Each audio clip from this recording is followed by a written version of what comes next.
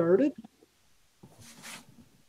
Okay, this meeting is now being recorded. Good. Um, good evening. I'm Bernie Vaness. I am chairman of the Hamilton Amateur Astronomers. Uh, it is my pleasure to welcome you on this beautiful Friday the 13th. Um, we have a pretty good crowd showing up. What's our count so far? We're sitting at 34. That's not too bad. I don't know what we have in Facebook. I'm not going to go find out. But uh, anyway, they're all welcome. Sit back, relax, enjoy this. Participate as you will. Uh, let's see, where are we going? Uh, we don't have a whole lot of uh, activity to, uh, or sorry, uh, uh, business to discuss before we get underway. Um, we do have an issue, or not an issue, but uh, an item I'd like to bring to your attention and uh, a couple items. Number one would be being uh, or observing uh, opportunities at Binbrook are coming to uh, the forefront, and we shall need, and we are looking for people to volunteer to be key holders for that park. Now, being a key holder to that park, actually, it's not a key anymore. It's now a touchpad number thing, but we'll keep calling it key holder. Um, the idea of being a, a, key holder is not simply that you have a key that you can go out there anytime you choose and have at it. The, one of the responsibilities of being a key holder is that before you open the park uh, or go into the park, you have to let the club members know that you are going and you are willing to facilitate them being there. Um, anyway, we'll, we'll put it all together in the form of a presentation and such, uh, and uh, a learning session via Zoom at some point. Uh, might even do a, a, live visit out there, whether it be cloudy, rainy, or whatever, just so that you can get the lay of the land and know where things are and people are and such. If you're interested in that, uh, please drop me a line, drop me a note either in the comments or email me at chair or telephone me or text me or throw it out with a string tied to a rock. I don't care. I just need to know that you might be interested in doing this. Um, let's see. The eclipse, 2024 eclipse is coming up pretty quick. It's a, that's going to get closer faster uh, it'll seem like it'll accelerate. All of a sudden, it'll seem just like yesterday I was asking you about this, and I think I was actually. Um, some of you. Let me know what you're planning, what you'd like, uh, if you'd like to help out in any type of an organization or manner to in any form with the eclipse. We're, we're, we're right in the middle of it. Um, I know a lot of people are planning to go further south, whether that be just a couple of miles south or several thousands of miles south uh, to observe. That doesn't mean you can't help us out before the eclipse. And trust me, myself, uh, uh, my plan is I'll, I'll be happy to deal with the public till five minutes before the eclipse. And then five minutes after the eclipse, I'm all theirs again. But those 10 minutes or so during the uh, before and after the eclipse that's my time and i expect it to be everybody every observer's time so if, if you want to give a hand let me know you might even have you might even have some ideas as to what we might do as a group if we do anything at all as a group anyway i'm babbling so let's see who do we have um, family whitman what is what is our situation with the loaners? How are we doing? Where are you? She's not talking. Bernie, can you give me one minute? Hang on just a second. You caught me at a really bad moment. Hang on, I'll be right back. Okay, well, I'll keep talking then. Um, for those of you in the know and for those of you who are not in the know, and new to the club, one of the great uh, advantages of our club is we have several good, uh, I was going to call them facilities, that's not quite the word, but we have very good uh, uh attributes to the club. One being um, our, our, our commitment to the food bank, Unfortunately, we haven't been able to do that at all since we're not face to face, but I, I urge each of you to contribute to your local food banks when you have the chance, whether uh, monetarily or with food in kind or even as a volunteer to help them out. Um, we also have our loaning program, our lenders program in the library. Uh, again, same issue. We have uh, we do not have a physical library available to you at the moment unless you can arrange to pick up books uh, and return them as, as the case may be. Okay, and we have for newbies and uh, not newbies, we have a lending or telescope lending or equipment lending uh, option available to our members. And that's taken care of by the family Whitman. And I'm sorry, I just keep calling you, always calling you the family Whitman, but let us know what you have. To be fair, it does say Fam Whitman on our profile, so it's It not much a does, stretch. it does. And I've got a, today I've got a, a memory like a sieve. So if it says Fam Whitman, you're Fam. How you doing, Fam? We are. Fam is great. Uh, right now, everything is out. Um, but if you're interested, that doesn't mean that you can't get anything. Let me know and I can put you on a waiting list. Uh, I, I will admit, and if anybody who has a scope right now is listening, um, most of the scopes are a little bit overdue to come back. But given the way the weather has been, and now that suddenly the Yeah. nice nights are coming out, I haven't been too on everybody, but um, it's picking up. So if you are interested, let me know. The uh, email is there, uh, lonerscope at astronomy.org. And uh, yeah, we'll get you a scope. Might not be right away, but we'll get you one.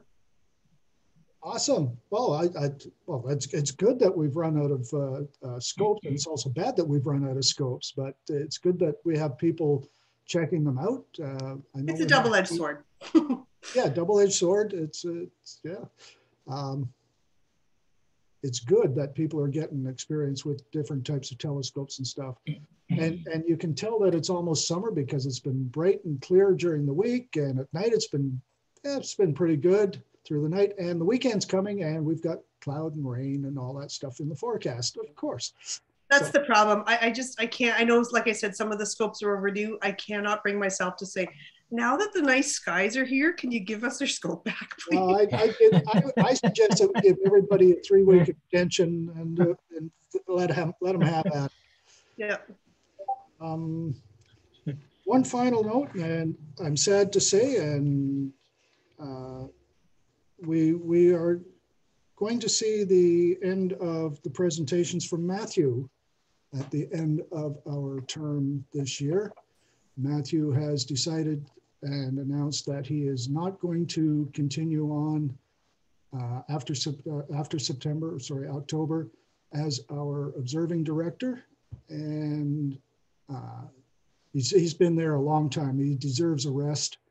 Um, so we will be needing somebody soon to step forward and offer up their services or suggestions as to who might take that position.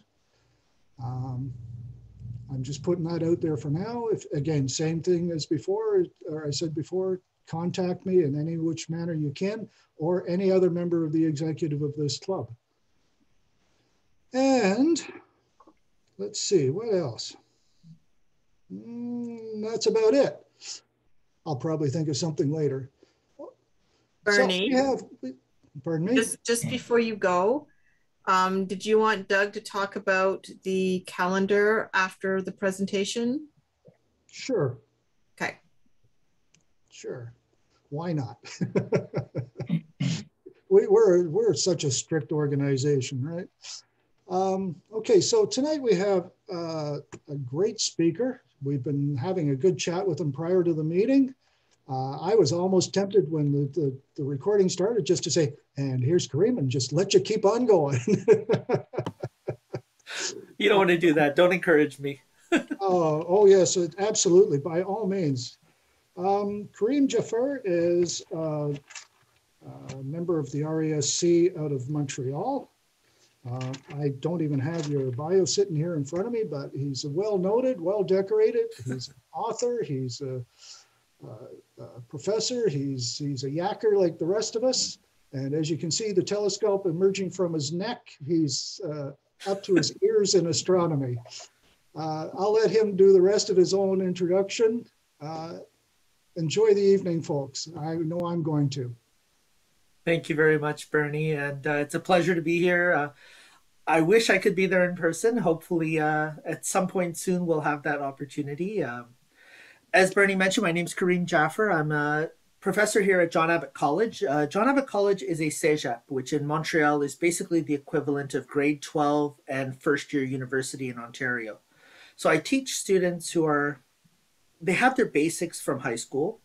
Uh, they're learning their core material in sciences and physics, chemistry, math, and biology but they're also exposed a little bit to interest areas, but in scientific courses. So I teach the astronomy course as a science option. So I teach it with hands on activities, labs with modern astronomy, and research projects as well.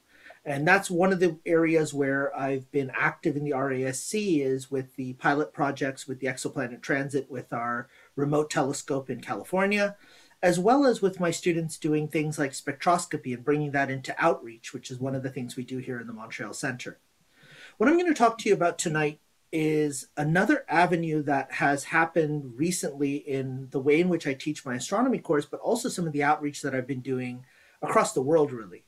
Um, I've been active in outreach for years now. I'm part of the National Education and Public Outreach Committee on the RASC but I also have taken on a few other hats. I'm a panelist on Astro Radio Reach Out and Touch Space show that's based out of the UK. It's a volunteer astronomy and music uh, radio station. And every Monday from 8 to 10 British summertime, which for us is about 3 to 5, we have a panel show where we just talk about current events in astronomy and we host guests who are doing research in different areas or have written books or are themselves outreach educators like us. I'm also one of the panelists and one of the presenters on the Tuesday night global star parties with Explore Alliance, and that's run by Explore Scientific and the Astronomical League down in the US. And so I ended up joining the uh, University Lowbrow Astronomers in Michigan uh, as part of my uh, decision to be a little bit more active in the Astronomical League. Uh, so wearing a few different hats here, but uh, my my heart is always in Montreal, and part of the reason is because of the RASC Montreal Center. So I wanted to tell you a little bit about our center and some of the things that we do. And my thought was to start off with, let's just start off with a light pollution map so you know what we're in for when it comes to our skies in Montreal. Because this is kind of the way in which we talk to each other as observing astronomers, right? What are our skies like? What's our Bortle number? And if you ask me to put a Bortle number for my driveway, I'd probably guess right around, you know, 600 or so. Um, one of my friends constantly talks about the fact that he has Bortle 9000 skies in downtown Montreal. And the reason he says that is because if you look here, that's Montreal, that big light sink there. It's even bigger light sink than Toronto's whole area with Toronto, Mississauga, Hamilton, all the way to Niagara Falls. Montreal per capita is worse. We're actually the third worst in the entire world. Let's let that sink in for a bit. We're the only one in North America on the top five of that list. And the reason is a couple of fold. Part of it is the fact that we are contained on an island. And so a lot of the year, we're surrounded by ice and snow. So the artificial light that we have in Montreal, it reflects massively. And so the entire Montreal becomes this dome of light, which you cannot escape from. Part of it is simply the lack of care that's been taken in a lot of the urban planning that's happened in the area. And I can point something out to you here. If you look here at the top right of the island, this whole area here, you can see an area where the artificial light seems dimmed a little bit. And that was actually a conscious effort by the Rosemont Borough to change all of the street lighting, to cap it, to change to lower emission LEDs at wavelengths that would cause less of an impact on the actual light pollution coming out of the city. So they did this incredible effort. They changed lights everywhere. And then there was three new companies that came into that area and a new hospital that was built, all of which didn't bother with any of those regulations. And so the light from that whole little block area is actually worse than it was before any of this started. Mm-hmm. So that doesn't bode well for the skies that we have in Montreal. Luckily, over here in the West Island, we actually have a protected area run by McGill University called the Morgan Arboretum, and that's where our RASC Montreal Center has our observatory. It's a 14 inch telescope. It's one that we've been putting a lot of effort into. Just before COVID, we got a new mount and everything. And so we cannot wait to start using this again. And just to the south of that, that little dark-ish area is where my campus is, John Abbott campus. So you can see that we actually have some reasonably okay skies for being still stuck on the island of Montreal. Now, the picture that you have there is from the 2017 partial solar eclipse. That was the first big event that we did at John Abbott campus involving the RASC Montreal Center. So when I joined RASC Montreal, I joined as a new educator who was taking over astronomy and who had no background in observation. And the club was so welcoming and so fantastic to me and my family that I thought we need to have a better partnership here between the students and the club so that they can benefit from amateur astronomy. Because one of the things I realized early on was some of my students will go on in space sciences, some of them may even go on in astronomy and astrophysics, but the majority of them if they have an interest in space, it's going to come from the hobbyist side. It's going to come from the same side most of us come at this from, which is just enjoying the night sky and learning the tools of the trade. And so I wanted them exposed to the idea of amateur astronomy early on. And so we started these amazing partnerships where we would have the events for the public talks from RASC Montreal Center directly on our campus we would have the students involved in our out in our nighttime observing and then we host the astronomy library the ik williamson library for the montreal center including an entire section devoted to david levy who's our honorary president. And that became a really active area where students would be engaged and the members would be talking with them and then doing their own thing. They would share their research the we would do astrophotography image processing together all of that. And it's a really dynamic relationship and if you want at some point, I can come back and talk to you a little bit more about the actual inclusion of youth into our center and what that's done. But the part that I want to talk to you about today comes from this whole partnership because when we started having these keynote events around the same time through the reconciliation process, we realized that we should be making statements of land acknowledgement whenever we start any of these larger scale events. And so we now incorporate these into our course outlines at the college, and I incorporate them into the start of every course. On the first day, I talk to them a little bit about land acknowledgement. But as I started to incorporate land acknowledgement into my outreach, I changed it into a land and sky acknowledgement because one of the things that we recognize is the night sky that we see is not ours. It's shared across the globe and across time. And so when we look at the indigenous territories and the indigenous peoples, we have a lot to learn from them, from their legends, and from the way in which they see the night sky. And so every event that I do now, I start off with this land and sky acknowledgement, and I either talk about one of the legends of the constellations that's in the night sky and prominent at that time, or I talk about the moon for that month because our public events are typically right around the full moon. So right now, we're just a couple of days away from the full moon. And for May, the Ojibwe call this the budding moon. And the reason they call it the budding moon is because it's the time when the medicinal flowers, the medicinal plants, are finally providing their healing medicines back to the peoples of the Ojibwe nation. The Cree and the Mi'kmaq actually refer to it as the frog croaking moon because that's the sound that you hear. And when you look at pictures of a nice evening in spring, coming from the western coast or from the eastern coast from New Brunswick, for example. Paul Owen had this beautiful sunset picture on his Facebook page the other day, and I could swear I could hear the frogs croaking in the background. The Cherokee call it the planting moon, as do a lot of the European cultures. They call it the corn planting moon or the full flower moon or even the milk moon, because this is the time of year where you really have the heart of spring beginning. So when I started looking into this more and more, I thought the Mi'kmaq project, the Mi'kmaq Moons project that Dave Chapman led at the RASC Halifax Center, was a great place to start incorporating a little bit more of the way in which the Indigenous people see the natural connection to the moons that they see. So I talked to Dave a little bit about the story. And for those of you who aren't aware of this Mi'kmaq Moons project, it's a beautiful story. Uh, Kathy LeBlanc from the Acadia First Nation was working at Kejimkujik National Park, and I work really hard on that pronunciation because I have a lot of trouble with Kejimkujik. But she was working there and she was asked to do a night sky talk. And so she said, you know, by all means, I can talk about Muin and the seven hunter birds. I can talk about some of the legends that we have of the night sky. But I can't explain how to find these things or what they mean or what you're actually observing around them because I don't know the astronomy. So she reached out to the RASC Halifax Center, and Dave Chapman was happy to go out with her and talk about the astronomy while she talked about the legends. And from that, they quickly realized that there was an importance to do both together because there's elements of observational astronomy in the legends tied directly in to the First Nation stories. And so when we talk about the Mi'kmaq Moons Project, what they did is they brought together the knowledge of the Mi'kmaq elders to understand the stories of the moons of the year.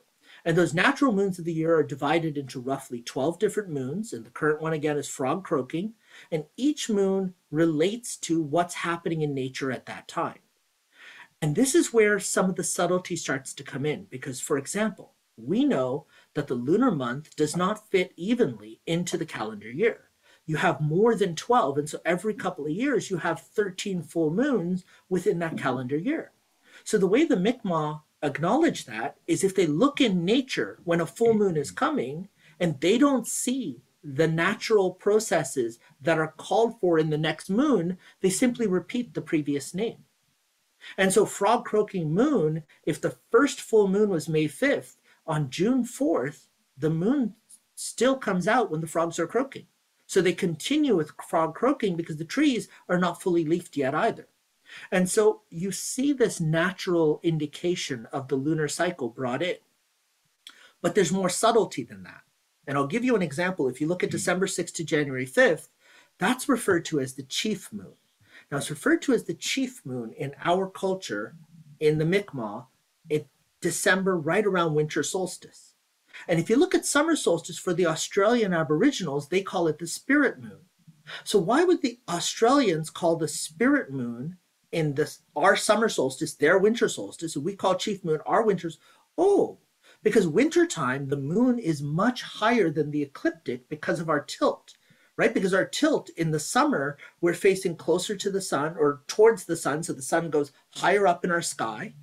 And so in the winter, since the sun is lower in the sky in shorter days, the moon is higher and it lasts for much, much more of the daytime or much, much more of the 24 hour cycle. And so the chief moon or the spirit moon are referred to because during those really, really long nights, the moon is really high up, it's bright, and it's shining down on us, and it's there to guide us throughout that entire dark, deep, cold night.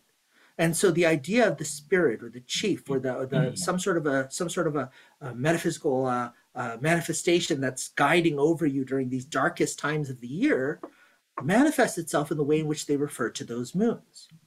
Now, the Mi'kmaq Moons Project wasn't alone. It began this entire series of projects, starting from the International Astronomy Year in 2009, to try to bring back the stories and reclaim the stories of the night sky by mm-hmm. different First Nations. So, for the Mi'kmaq Moons Project, I have a little clip here, and if you want to learn what the frog croaking moon how to actually refer to it because it's really hard for us from an English perspective or a French perspective to be able to pronounce these words. And the pronunciation, the names themselves carry so much meaning that they had the elders of the Mi'kmaq tribe give us those pronunciations and share them. Chewy goose, the frog croaking moon. Skulk chewy goose, it comes from the Mi'kmaq word skulch, which means frog one of those words, it's when the animal says its own name. Skulch. Skulch. So skulch goose, frog, croak, and moon. So those types of short videos just give you a little bit of an understanding as to the way in which those words carry their meaning and carry their power. And one of one of uh, one of the people who I've managed to meet through these different processes, Susan, she started this regeneration of Mi'kmaq star stories, and her grandmother tells the star stories in Mi'kmaq, and then Susan retells them in English with her daughter acting them out with her in short video clips. It's a beautiful setup. And so with that, we also had these books starting to be published that carried some of these legends with them that could be shared throughout the year. Things like the circumpolar constellations, which you can share at any point in the year, now became codified and shared through illustration, through video, as well as through books. As I started to dive deeper and deeper into this idea of the First Nation stories, I started to realize that some of them are just beautiful stories in and of themselves, but when you start to dive in, you see actual astronomical observations tied in to the way in which these stories are told. And one of the ones that I wanted to share with you from the Ojibwe again is that of the Fisher. And the Fisher is how they refer to the Big Dipper or Muin and the 700 birds. They refer to it as a fisher. And the fisher is an animal that uh, during the winter time it becomes very, very starved, very, very thin. So the story goes that mm. the fisher was part of the winter animals and he was hungry and he realized that he really wished summer had come back.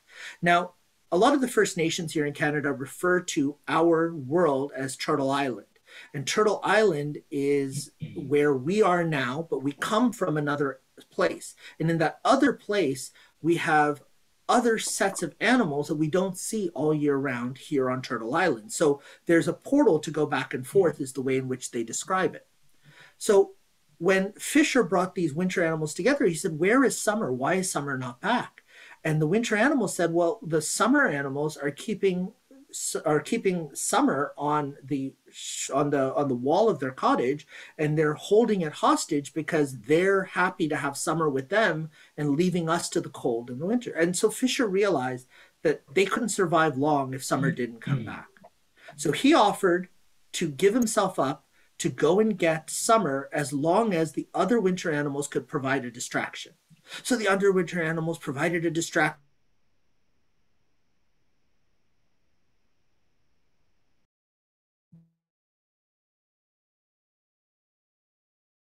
Fisher. So Fisher climbed up into the sky to come back to Turtle Island, but of course he was hungry and weak. And so the summer animals caught him and they fired an arrow into him, killing him. So when they killed him, he's on his back, and summer drops down onto Turtle Island, and he saves the rest of the animals because he's brought summer back. And so now all of a sudden the, the, the world starts to heat up, it starts to brighten, the ice starts to melt, and life comes back to Turtle Island. So the creator saw fish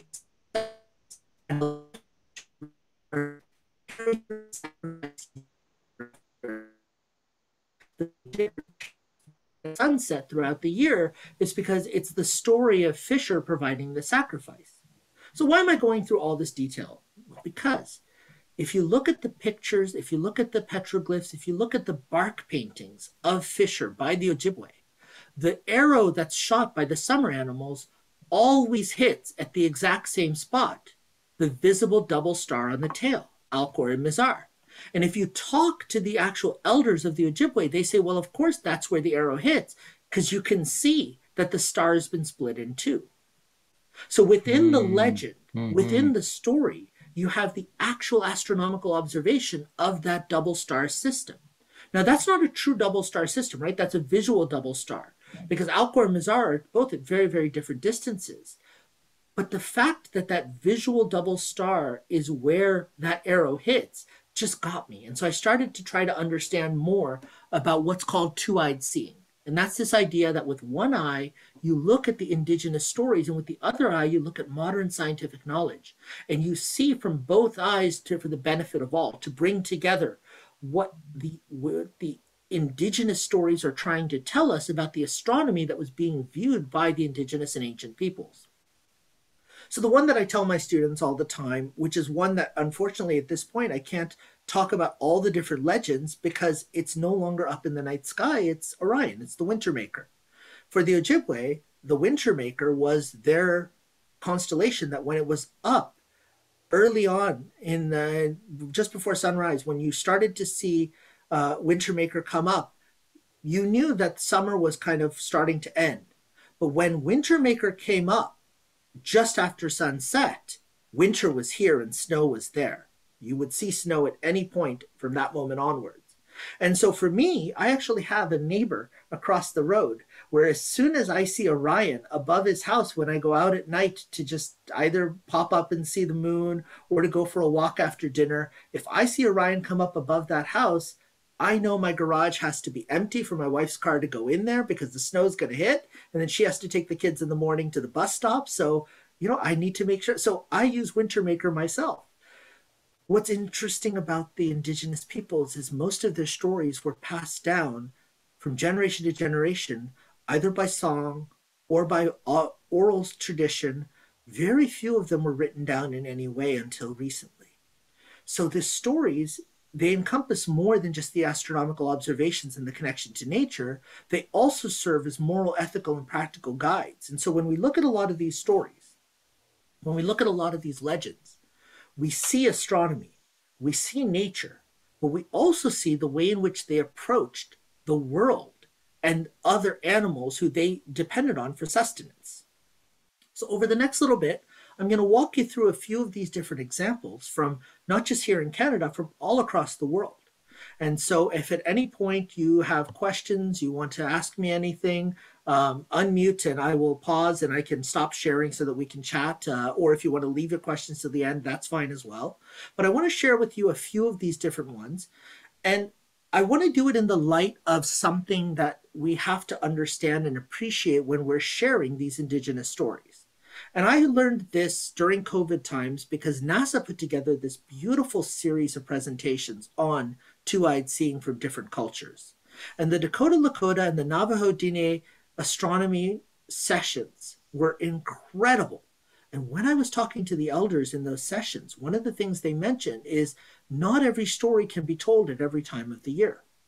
And that's one of the reasons why they hesitate to record their stories, to write them down because the stories have to be contextual to the time of the year in which you want to talk about them.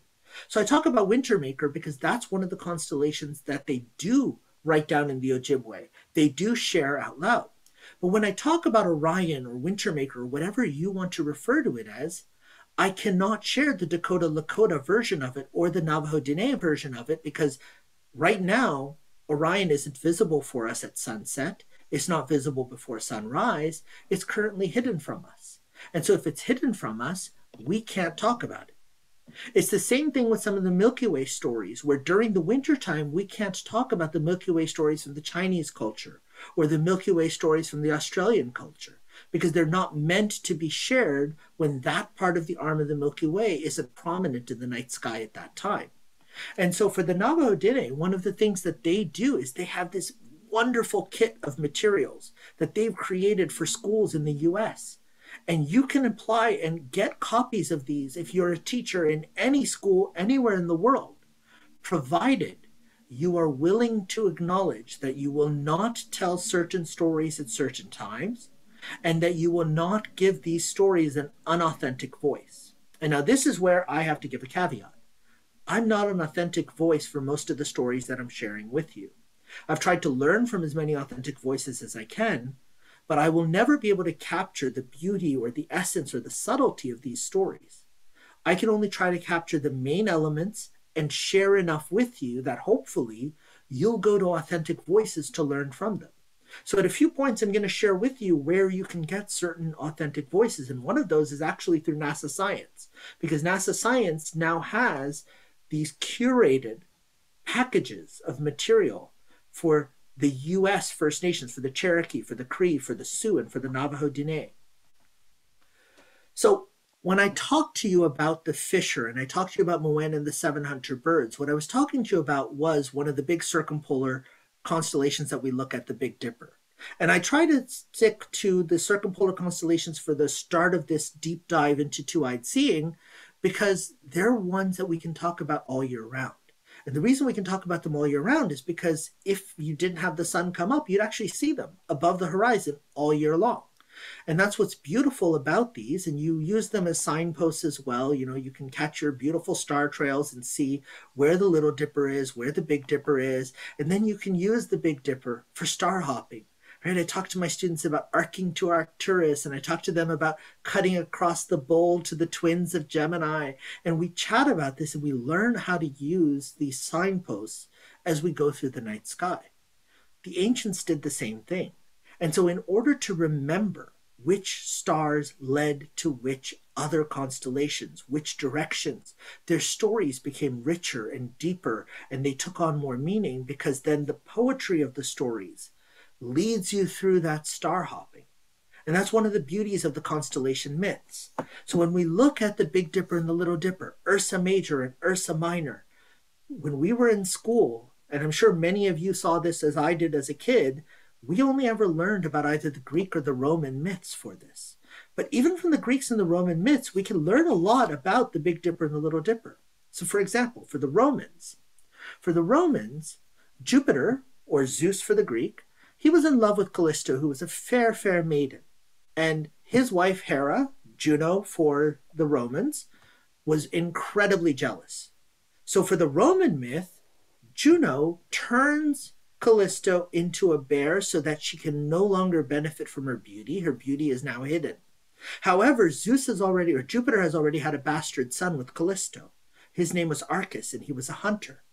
And so, in a real fit of jealousy, Juno left Callisto as a bear on the mountain where Arcas was hunting. And Arcas saw this beautiful big bear, and he shot it with his arrow. And as this bear was dying, it turned into his mother, and Arcas let out a cry of despair. And Jupiter realized quickly what had happened because he knew his wife Juno's rage and her incredible hatred of all of his bastard sons. And so, what Jupiter did is he took Callisto and Arcas and turned them both into bears and threw them up into the heavens so that they would be safe from Juno's rage.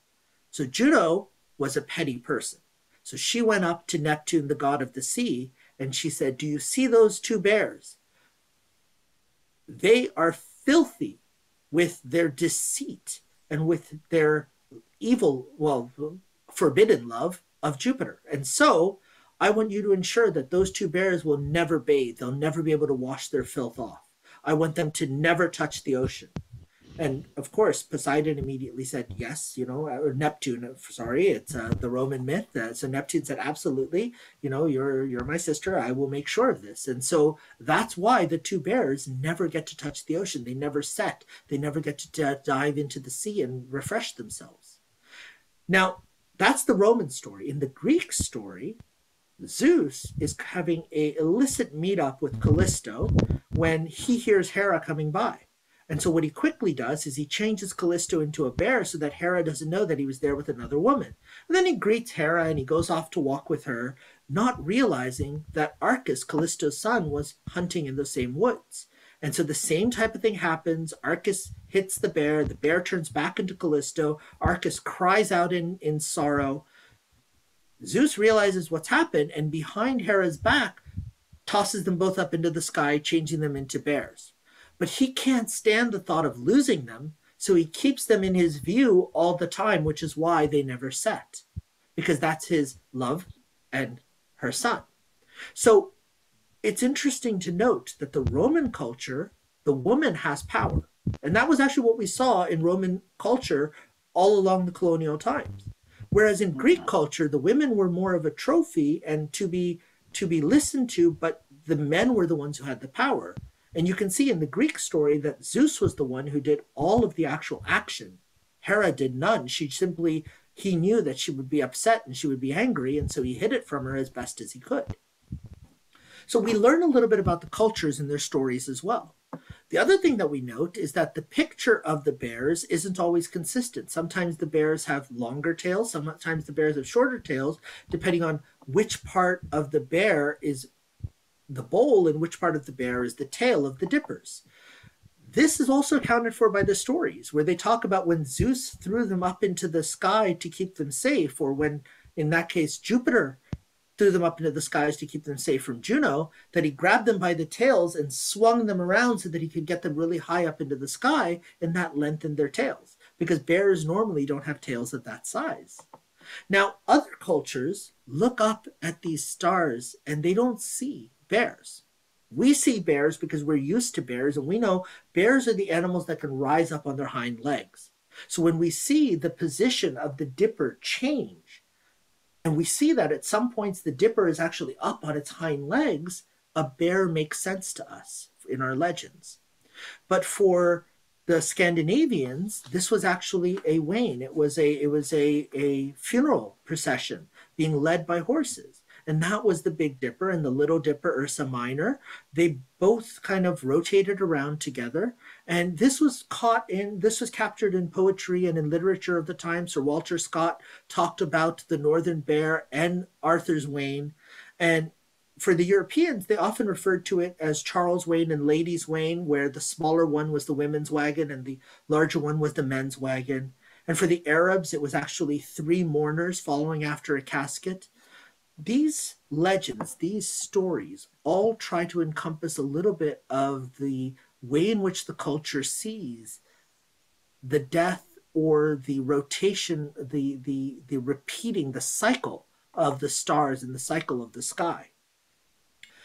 Now, as I mentioned, I do want to talk a little bit about Orion because it's a beautiful example for a couple of other reasons. But Orion is also one of the most recognizable constellations outside of the circumpolar constellations.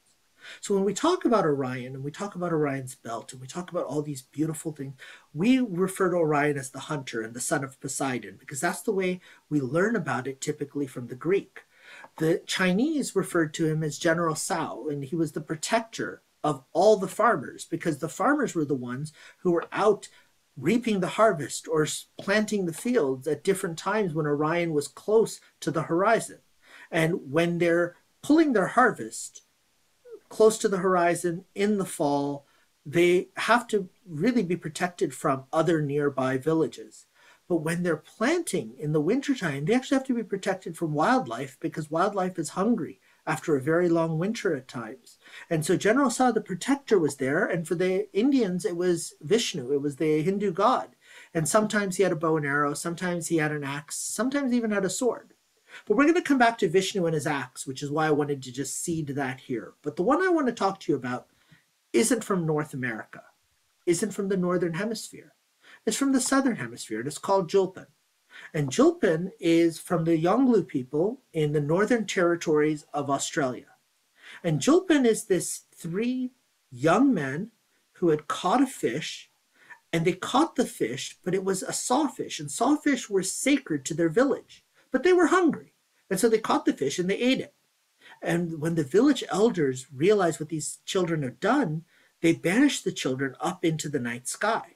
Now, this is the story, and if we turn it around a little bit, maybe we can see kind of the similarities between this direction of Julpan and the way in which we see Orion here in the northern hemisphere. Of course, it's upside down in the southern hemisphere. But the question arises why this story? What does this story have to do with anything with nature? I mean, they caught a fish and they ate it. What was wrong with that? Now, it's impossible for us to say at this point how much the elders of the Yolngu people knew about sawfish. But if you've ever learned about sawfish, they are actually bottom feeders. They scavenge along the bottom of the coast close to the shore. And as they do so, they kick up the waste and they recycle the waste and they pull all of these little minerals and all these little animals and they end up coming up into the water which brings larger seafood larger fish closer to the shore because the sawfish provides for them a lot of food. It also recycles a lot of the nature right along the coast which keeps that entire coastal area from becoming uh, fermented becoming becoming stagnant and so sawfish were instrumental for the biosphere right there close to the shoreline and brought in larger fish which would actually feed the entire village. So their reason for not allowing sawfish to be eaten was because they were too vital to the ecosystem and to the way in which that village survived. So these two, these three youth that had eaten the sawfish and been banished up into the sky served as a story to tell the young people of the village that they cannot eat sawfish because it's too vital, because they will be punished for it. And that punishment will be so severe that they'll never be able to come back to their village. So there's a beauty in this, but there's also an incredible amount of actual understanding of the way in which the ecosystem depended on one specific type of fish. And that's just wonderful to see. Now, that same Orion is actually referred to in Tswana in South Africa as three dogs in the belt or in the sword chasing three warthogs on the belt. And the reason for that is because you don't want the dogs to catch the warthogs when Orion is in the sky. So you shouldn't hunt warthogs, you shouldn't catch warthogs while Orion is prominent in the sky. Because when Orion is prominent in the sky is when warthogs have their litters.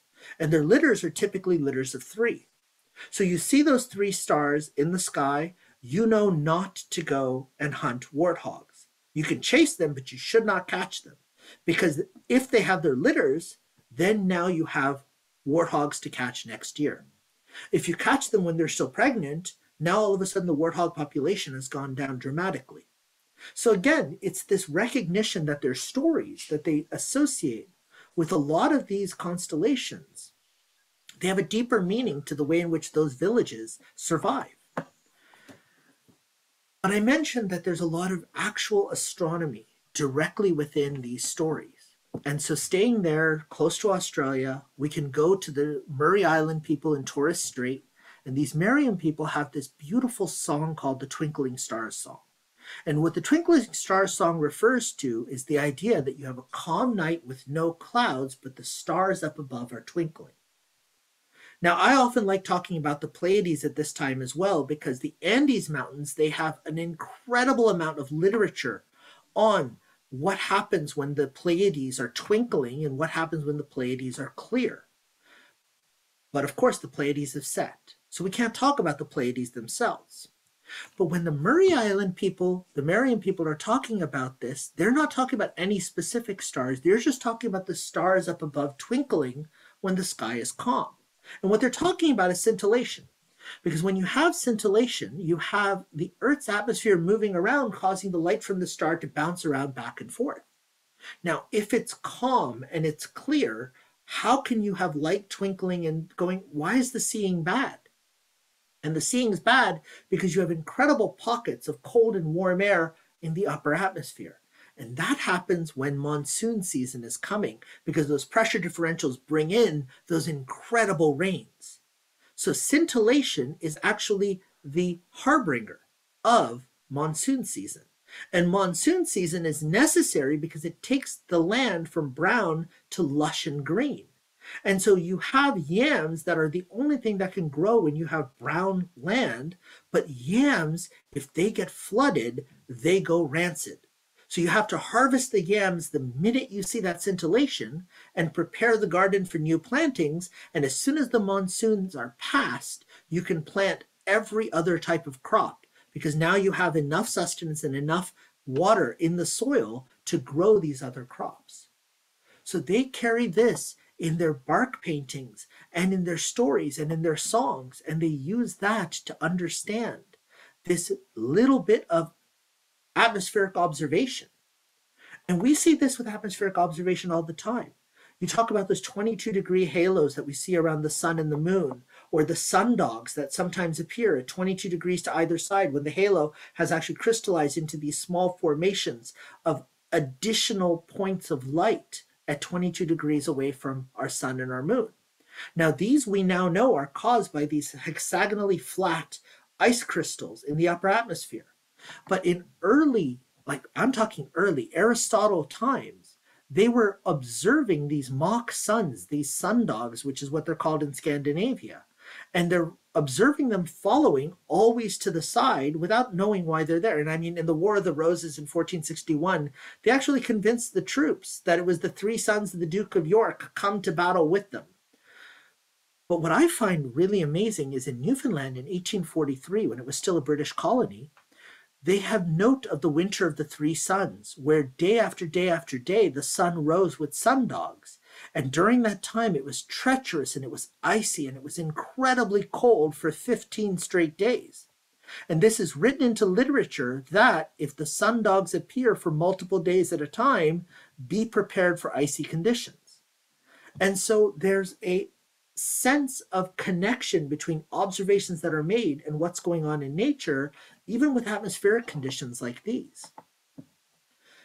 Now, these observations don't just go with the stars, they also go with the planets. And things like retrograde motion of Mars is something that's been known to our First Nations from early on. And uh, um, uh, Buck, he actually refers to this as retrograde motion as moose spirit or musawa akak. And that's because when a moose is startled, right, it runs in a big, huge circle to see what startled it. And if it doesn't see anything, then it just continues on its way.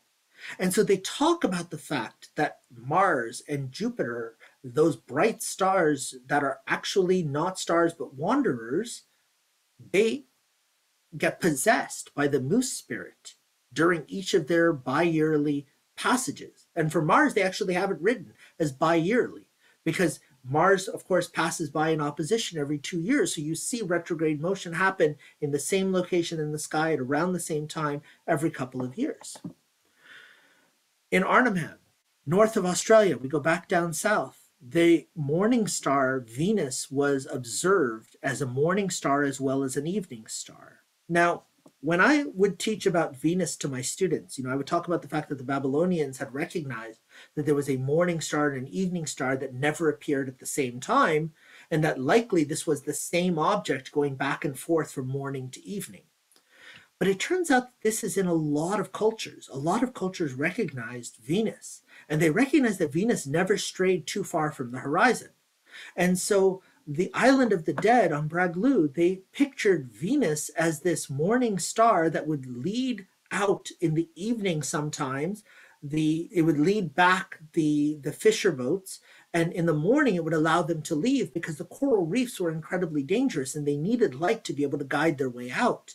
And so when there was no moon, their only choice was the morning star. And so they'd ask the morning star to come out and lead their way, but she was afraid of drowning.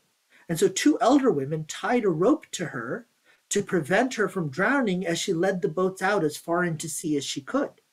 And so that's why Venus never goes too high above the horizon. It's because these elder women are there to pull her back in when she's done her task. Now, these types of things we catch on on wood bark paintings. We hear them in stories. They're handed down from generation to generation, like the moose spirit from Wilfred Buck most recently.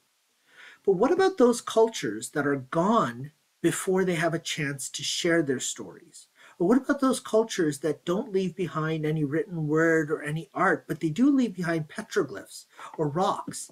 And we talk about archaeoastronomy. We talk about these observations of stone collections that have some sort of a meaning to them of the actual relationship to the sky whether it's where sun is at summer solstice and winter solstice whether it's where certain constellations are at different times or whether like stonehenge it's a giant burial ground that also happens to have some incredible astronomical almost coincidences but perhaps that's what they were built into for that burial ground so when you see a collection of rocks in a circle, it's really, really, you know, encouraging to say, oh, look, it's, it's archaeoastronomy, but it's not always. And some of you may remember that about uh, 10 years ago, there was a series of underwater stones found in Lake Michigan. And they thought, oh my God, it's a North American Stonehenge. And they reported this idea of North American Stonehenge. And they looked at these rocks and as they studied the rocks and they found more and more of them under Lake Michigan, they realized that the actual orientation of the rocks was not a circle. And it didn't seem to have anything to do with the way in which the sky operates as we know it. And so, what do you do when you come across something like this? Well, you go to all the First Nations along the Great Lakes and you ask for their stories of stone structures. And as we did that, and as we walked through, we found a selection of Cree uh, stories, and those Cree stories had to do with the idea of a hunting ground. And this was brilliant because what they did is they lined up rocks with specific arrangements so that on one side, the, the herdsmen could actually push a caribou tribe to go stampeding down one side of these rocks. And on the other side of the rocks, they had their best hunters with the bow and arrow. And they would pick off the weakest of the caribou. And then at the end, there would be a rock curve, which is why they thought at first that there was an actual circle of rocks. But that rock curve would lead the caribou to a new grazing ground, give the old grazing ground a chance to revive, pick off the weakest of the caribou to feed the tribe for the winter time. And the caribou now had a new grazing ground where they could shelter for the winter. And the next year, they'd be ready for another set of, of hunt and to sustain this village for longer. And so this was captured in their stories that they had these beautiful rock formations where they had their sacred hunting ground for right before winter time. And that's what was actually found underwater in Lake Michigan. Now, when we see these types of archaeoastronomical um, ruins, and I mean, that's what we have to say ruins, but um, you know, sometimes they're pristine, like the Knowth Passage tomb and the Newgrange Passage tomb. And sometimes, in the act of trying to understand them, we destroy them. And that's the case of the Dowth Passage tomb in Ireland where they were trying to go into the passage tomb to see what was inside. And of course if there's any treasures to try to take them. But when they detonated it it collapsed inwards and the only thing they were able to take out was one of the passage stones and that passage stone has on it depictions of solar eclipses what we believe to be solar eclipses one of our local Montreal members, Robin Edgar, has actually written a series of articles about the Dowth Passage tomb um, uh, entryway stone. And it's incredible how wonderfully accurate some of these depictions are to the way in which the, these specific solar eclipses were seen in Chinese or other, uh, or not Chinese, sorry, in um, in uh, Avebury, in other locations where they depicted similar solar eclipses at around the same time. But there you still have people living nearby to ask and to try to generate and get stories from literature. Chanquillo in Peru is one of those complexes where there's nobody left to tell the story. And Chanquillo is one where there's a couple of solar observatories. There's some incredibly intricate work within the rock walls of this complex.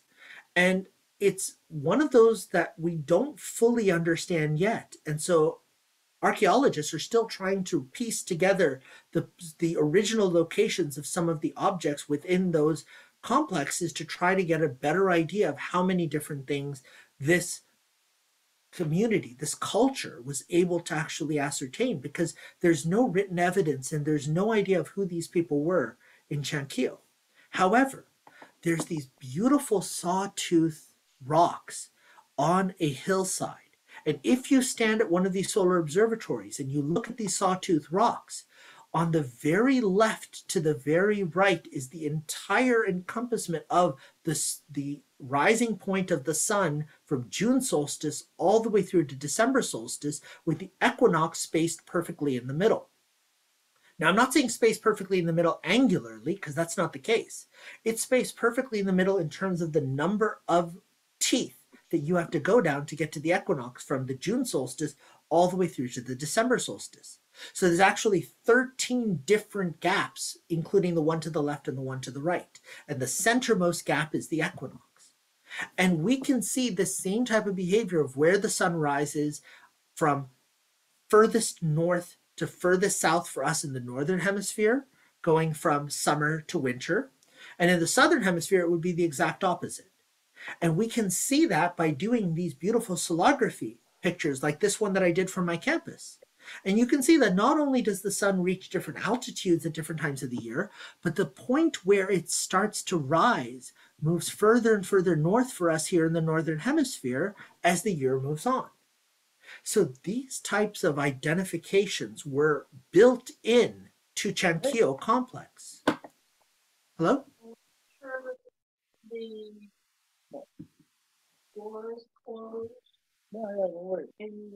Was that a question? Sorry, I can't hear. No, it was background noise. Oh, okay, I no just- problem. I just muted. It's okay. No worries. So I, I wanted to point this out because this I just saw about a week ago is Dave Chapman in another beautiful uh, acknowledgement of these wonderful two-eyed seeing um, applications is part of this Sky Pillar project in the Mi'kmaq Moons uh, area, but this is in one of the Mi'kmaq parks. And so this is a pillar that faces directly north to south. So at your local solar noon, the sun has a different altitude throughout the year, And so if you look through the gap, you can see that there's rocks placed at different intervals. And so you actually have from winter solstice all the way out to summer solstice and then back these specific steps that tell you which time of the year you're at and then correlates those to the Mi'kmaq moons for that time of year. It's a beautiful little example of using something as complex as this Chanquillo setup, but in a very refined geometry, just looking at the meridian rather than trying to look at the sunrise moment. Chaco Canyon is another one that is just incredibly fascinating. Chaco Canyon is in New Mexico, and the peoples of Chaco Canyon don't exist anymore. And when you look at the local other tribes, they all refer to the people of Chaco Canyon something similar to the Anasazi. And Anasazi in the Navajo term means enemy people. So whoever these people were were wiped out by the other local tribes. And so the other local tribes took turns actually living in Chaco Canyon at different times since those people, the Chacoans, were wiped out. So the civilization in Chaco Canyon was at its height in the 11th century. Now, in the 11th century, we had some incredible astronomical events. And where I first learned about Chaco Canyon was this observation of the supernova 1054 AD, which is the Crab Nebula. And you can see the phase of the moon, where Venus was, and where the Crab Nebula was. And at that time, on July, or uh, actually, this one would have been, I believe, March in uh, 1054 I believe it was March in 1054. That's right. No, it was July in, in 1054. That's where you would have seen that supernova according to the view from Chaco Canyon. So the supernova would have been exactly to the east or to the west where the Venus was right after sunset. And that supernova was dominant enough to be caught not just by the, the Anasazi, but also in China, it was noted in the silk in the silk uh, comet comet uh, atlas uh, Mawangdui. Now, on the floor of that, you see this beautiful structure here. Now, this structure here was painted around the same time, and we're not 100% sure what that was. For a while there, people thought it was actually another eclipse that was being envisioned. But when we think back to the early 11th century, on July 11th, 1097, there was a solar eclipse in that region. But that solar eclipse didn't have that shape of corona where it was only one sided. However, in 1066, Halley's Comet would have been visible and it would have been incredibly bright at that time. And so we now believe this is actually a depiction of Halley's Comet. And of course, we just passed through the tail of Halley's Comet with the Eta Aquariids just last week. So we can see observations of not just supernovae, but also something like what we believe is one of the comets that would have been visible at that time. But here's where it gets really interesting in Chaco Canyon because they have a solar observatory area where you have this beautiful spiral with a sun dagger that passes through the center of that spiral exactly at the summer solstice. Now, at the summer solstice, you have this beautiful dagger come right through the center of the innermost large spiral. Spring equinox and fall equinox, you have it to one side of the spiral, and you have a second dagger going through a tiny smaller smaller spiral. And winter solstice, you have two of these sun daggers coming straight through either side. Now, this comes from this beautiful arrangement of rocks where the sun shines through in just the right orientation. So I wanted to tell you how these sun daggers are formed. So bear with me here. At the summer solstice, just past 11 o'clock local solar time, a small spot of sunlight first appears above the center of the large spiral. The dagger grows for about 15 minutes until it bisects the spiral over almost its entire height, and then the sun is high enough that the upper end of the dagger gets cut off. And for the next five minutes or so, the whole dagger moves down the spiral so that after a total of 20 minutes, the dagger is now gone. So just over those 20 minutes, you see this dagger go through the center spiral, grow in size, shift, and then disappear. In winter sequence, a similar type of thing happens, but two daggers form on either side of the spiral. And then the equinox daggers appear along the same way, but you get two daggers, one small and one large. In order for this to happen, you have to have two beautifully curved stones above these two gaps that are perfectly placed so that the dagger actually appears for just that brief moment of time and makes that motion before it disappears. So the amount of precision that was involved in creating this solar calendar was incredible. So when we first realized this and people started going and studying it, unfortunately, because the ground was still shifting and a lot of it was eroded, one of these rocks actually tipped inwards. And so this whole feature no longer appears. But as soon as that rock shifted inwards and they realized how unstable this whole canyon is, the whole canyon was roped off and became protected territory, which is actually, I think, a good thing. Um, but one of the really interesting things here, and I have yet to look into this too deeply, but the larger spiral is exactly the size where the full moon rising Okay, the full moon rising at different times of the year creates a shadow at different points along that spiral that repeats every 18.6 years. And 18.6 years is roughly the syzygy required for the moon to go back through the moon sun earth arrangement to repeat back to almost the exact same locations. So it appears that the large spiral not only helped to indicate where the sun was and where the earth was in its orbit around the sun, as we now know, but it also helped to indicate how far along the lunar cycle we were for the lunar orbit and its movement with respect to our orbit around the sun. Then, when you look at Chaco Canyon even more deeply, you start to see these beautiful petroglyphs, including this one here that I've circled, that appears to be the solar eclipse that I talked to you about in 1097. And the reason why we believe that's the same one is because in Peru, we have a similar depiction of that solar eclipse where it would have been visible in northern Peru as well as in southern New Mexico along its path of totality. And you can see this incredible curved aspect to the corona because that would have been right at the heart of the solar maximum 11 years during one of the larger maximum according to our models of what the sun would have been like back in the early 11th century. So in Chaco Canyon, in this archaeoastronomical complex, we have supernovae detections, we have solar calendars, we have lunar calendars, we have comets, and we have solar eclipses. And we have no one to tell us how well they how they figured out how to denote all this, let alone create this mathematical complex for the 11 for the 18.6 years for the full moon.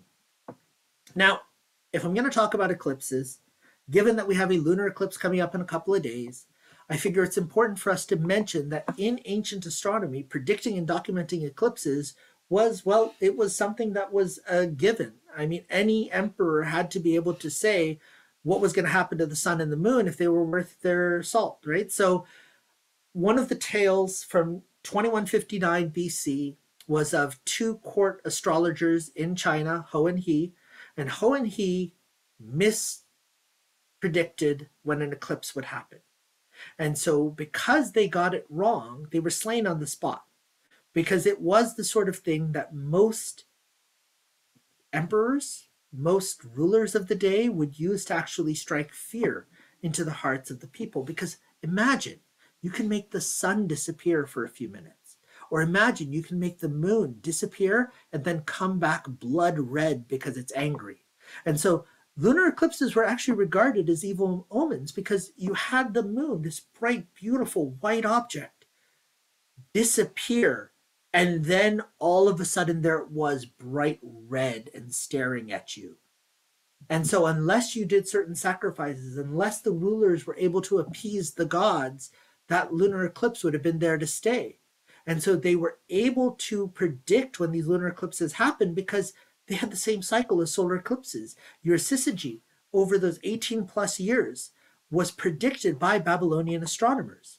And in Mayan astronomy, they actually always showed lunar eclipses and solar eclipses side by side because they knew that if one happened, the other one would be visible somewhere else. And so we know now that we do always see those happen in pairs. the stories of these lunar and solar eclipses tell us a lot about the way in which they were seen by different uh, cultures. So the Vikings, Hati and Skoll, were the two wolves, the sons of Fenrir, that would chase after the moon and the sun. And they were trying to catch the moon and the sun to cause Armageddon because they were the ones who were going to bring about the end of the world. But if they ever caught them, the sun was incredibly hot and the moon was thought to be frigidly cold. They couldn't keep them in their mouths, which meant that they would spit them back out. But if they spit them back out, their purpose is not fulfilled. So then they go chasing after them again. And so the idea of Hati and Skoll chasing after the sun and the moon was one thing. But it turns out that if you read the stories a bit more carefully, Hati and Skoll are both given both genders, as are the moon and the sun. And so sometimes it's Hati chasing after the sun, and sometimes it's Hati chasing after the moon. And same thing with Skoll. And so some of the legends talk about the idea that Skoll would catch the moon, but it would freeze his mouth, so he'd spit it out. But he wouldn't give up so easily, so he'd catch the moon again, but it was too cold, so he'd spit it out. And so he'd realize that he'd be better off chasing the sun, so he and Hati and Skoll would switch. And that kind of explains why sometimes you have multiple lunar eclipses in the same year, and then you won't have any in that visible for that area of the world for a couple of years, and then again you'll see a couple in a row. That whole mythology captures that that essence. The demon Rahu. This is one of my favorite ones from the Hindu culture. So the idea here was Vishnu was holding a banquet for the sun and the moon gods to make them immortal. So he fed them some of the immortal nectar, and the demon Rahu realized what was happening and felt jealous, and so he wanted to be immortal too. So he disguised himself and came to the feast. And so as the sun and the moon god dropped down their, their beautiful immortal nectar, they realized that the other person at the feast wasn't a god, it was the demon Rahu. So they told Vishnu, they said, the demon is going to take the immortal nectar. So Vishnu got angry and pulled out that axe of his and swung. But as he swung, Rahu took a quaff of the immortal nectar. So Rahu was beheaded but not before he had taken his quaff of immortality. So now there was a disembodied head of a demon that was immortal and was angry at the sun and the moon gods for preventing him from actually becoming immortal the same as they were. So now Rahu chases the moon and the sun all the time. And if he catches them, he swallows them because he is so angry at them. But because he's only a head, as soon as he swallows them, they come straight out the bottom. And so that's why solar and lunar eclipses never last for very long. The solar bark of Ra, we saw that beautifully during the annular eclipse last June when the sun was just rising as it was already in its eclipse, and you could see the beautiful solar bark. And that's also believed to be part of the orientation of the bull and the cow uh, for the for the Egyptians, uh, for the uh, hieroglyphs that you see in a lot of the pyramids.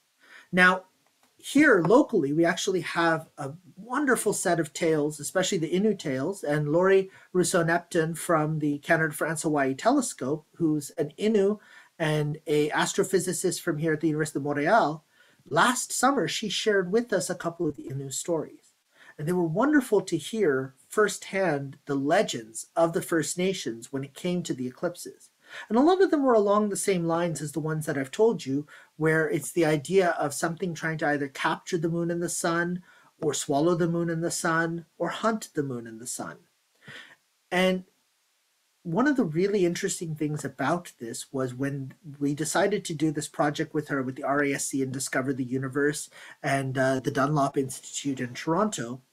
When we reached out to her, she agreed, but she asked for it to be translated into multiple languages.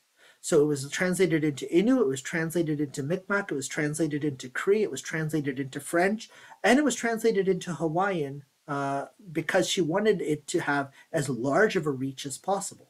And I absolutely adore that she that she that she decided to do that, that she decided to go, you know, one step beyond. So I'm actually going to end with this one, and then I'm uh, there was more that I that I have, but I'm gonna I'm gonna end with this one because this is one of our Milky Way ones, which you can tell all year round because the Milky Way in the southern hemisphere is of course prominent throughout the year. And this is the legend of Priprigi or Priprigu. Uh, depending on which part of Queensland you look at and what uh, what pronunciation and what transliteration you read. But he was a famous, famous hunter there in the in the plains, and he was accomplished as a hunter, accomplished as a singer, accomplished as a dancer. Now, he knew all the songs for his village, and so he led the village in song every night. He knew all the dances for the village, and he led the village in dances every night. And he knew all the tricks to hunting, so he hunted, and he hunted to feed the entire village. And so they were really dependent on Pre Priggy, but Pre Priggy was growing bored. And so one morning when he woke up early, he decided he wanted a treat. So he went traipsing off through the forest and he found an entire gathering of flying fox sleeping in a tree. Now, flying fox are these winged bats, and they're apparently a delicacy. I've never had them myself, but if you have, you know, you can let me know if they're as good as they seem worth it for Pre Priggy. But he decided that if he's going to have a delicacy, he's going to have the best of the delicacies because he's the best hunter in the world. And so he decided to kill the chieftain of the flying foxes. So while it was asleep, he snuck up, he took his bow and arrow, and he killed it. And its death cries woke the entire tree of flying foxes. And when they realized that the chieftain had been slain, they grabbed Pre Priggy and they pulled him up into the sky. And Pre Priggy was lost. So now the villagers woke up and there's no Pre Priggy. And so they were hungry, but they didn't know what to do. So they went out and they tried to capture something. One of them caught a snake, one of them caught a rabbit, then they came back, and that was it. And then they thought, well, you know, we're hungry, so we can't do anything about that. Let's sing some songs that'll take our mind off of it. But none of them could remember the tunes. So they tried to dance to at least bring a little bit of joy to the kids, but they couldn't remember the steps. And so they became very desolate and very, very sad. And then they started to hear music coming from the sky. And they looked up and they saw the stars start to move around and take shape to follow the music and to follow the lines of dancing that Pre Priggy had taught them. And they realized that Pre Priggy was leading the stars to dance, to share with them one last time the dancing and the songs of the Australian wilderness. And so when they look up at the night sky and they see that arm of the Milky Way, it's twofold. One, it reminds them of their culture and their stories and their dance. But secondly, it reminds them to not be over overwrought, over arrogant, overstep themselves, and to remember that the village comes first, that your own personal goals, your own personal search has to come second to the welfare of the of the village itself. So when you're out there in the night sky and you're watching the arm of the Milky Way this summer and you're seeing the occasional shooting star, keep in mind that the stories of these stars and the stories of these legends all have in them an incredible amount of astronomy and science. And so on behalf of myself and the elders who've allowed me to share their knowledge, I want to thank you, Hamilton, for allowing me to talk to you a little bit about two-eyed seeing. Remember to use both eyes for the benefit of all. And over here on the left, I actually have this beautiful painting from the Haida Gwaii that I just loved because it talked to me about the aurora. And so what I want to end with is the aurora during the full moon was something that I was always told was not really that special because the full moon kind of, you know, it, it takes away from the majesty of the aurora. Well, lo and behold, January 15, 16 from Finland, this picture was shared with me of the aurora with the full moon rising below it. So, what you hear in the stories of the First Nations in their art and in their legends really does match the observations that we can make ourselves as astronomers. Thank you. Thank you very, very, very much. Uh, I'm sure there's a bunch of questions. There have to be questions after that. Um, I will say while while you're either typing them in or uh, to for Sue to transfer to us, I will say that uh, you and I, Karim, are both members of the Astronomical League. Um, and the Astronomical League, as you know, and I'll let our, our viewers know, uh, has a program called Alternate Constellations. Yep which is a program that I've been working on since they released it a couple of uh, two years ago. Oh, excellent. Uh, yeah, it's it's very challenging. It's very good. Uh, for those who don't know about it, uh, it's uh, you're, you're given a list of, I don't know what there are, there 30 or so, something like that. Uh, I think they're up to 36 in now. Two parts. Yeah. Done in two parts. Uh, They, they, you have to research and find where these ancient constellations are and then observe them and, and sketch them out and such. Uh, Quite challenging, quite educational, a great way to spend a, a rainy evening. Uh, And if you have the Stellarium uh, application downloaded on your computer, the, the full version of Stellarium actually allows you to take a lot of the First Nations and other culture constellations and pull them out. Yes. So you can see Djulpan, you can see um, the Odin's Wain, you can see the Winter Maker, and you can see which stars are in Winter Maker but not in Orion, and vice versa. Right. right. And and how some of the uh, it's, it's great because it shows you how some constellations actually came to being. Uh, it's particularly the southern, wh- which was uh, I forget Argo or something like that, and and became five or six different constellations. Uh, unfortunately, we can't see any of them from here, but uh, just the the history of how it happened is is very good. Um, okay, so Sue, do we have any interesting uh, questions or? Um, there are, there are no, there are no questions in the, the I've chat at this point in time. I I got a just heard question. Someone say, I've got a question. Yeah, yeah, Daniel from Oakville. Uh, you're touching on something that uh, I- was I was actually going to ask you about. How how is it that that uh, that the constellation you refer to, Wintermaker and Orion, how is it that that that native groups chose the same collection of stars to to collect to form their constellation wintermaker eh, is say the, the i don't know the persians or some group of people thousands of years ago chose that group of stars how is this how does this i'm brand new to this by the way i don't have any idea Oh, no worries, Daniel. It's a really good question. And it's one that I actually have my students explore. And the way I have them explore it is I show them uh, a picture of Orion with Betelgeuse highlighted. Then I showed them for 24 different cultures which shape Betelgeuse is in a constellation for them.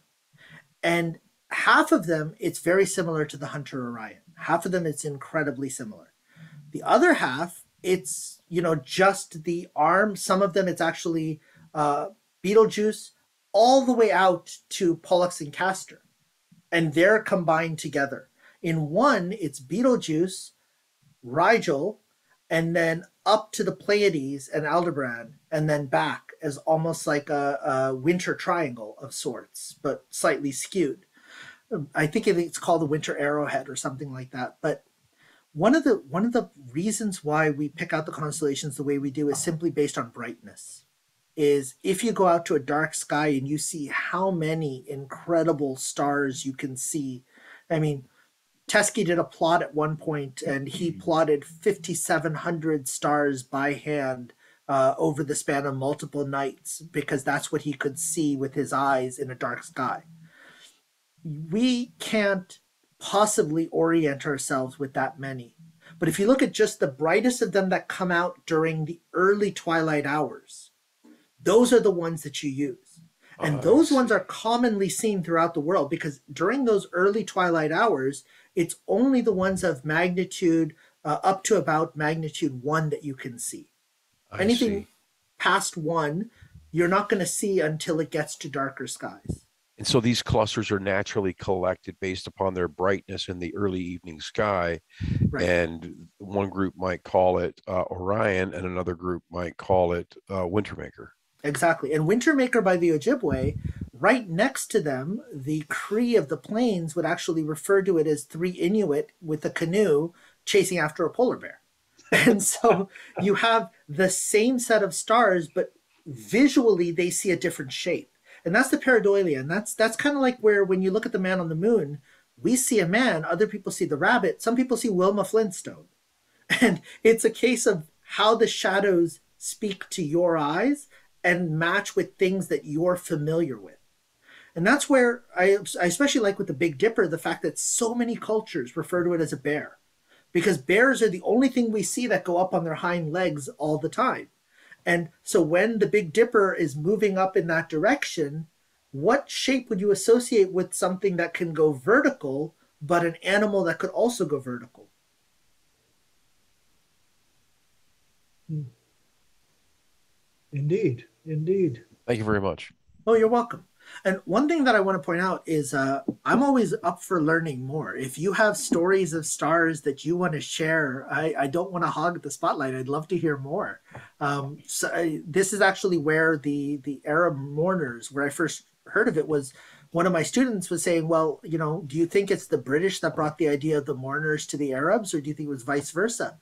I was like, I have no idea. And I'm going to look, I have yet to find a concrete reason why those two vastly separate cultures geographically both looked at the Big Dipper as a coffin with mourners.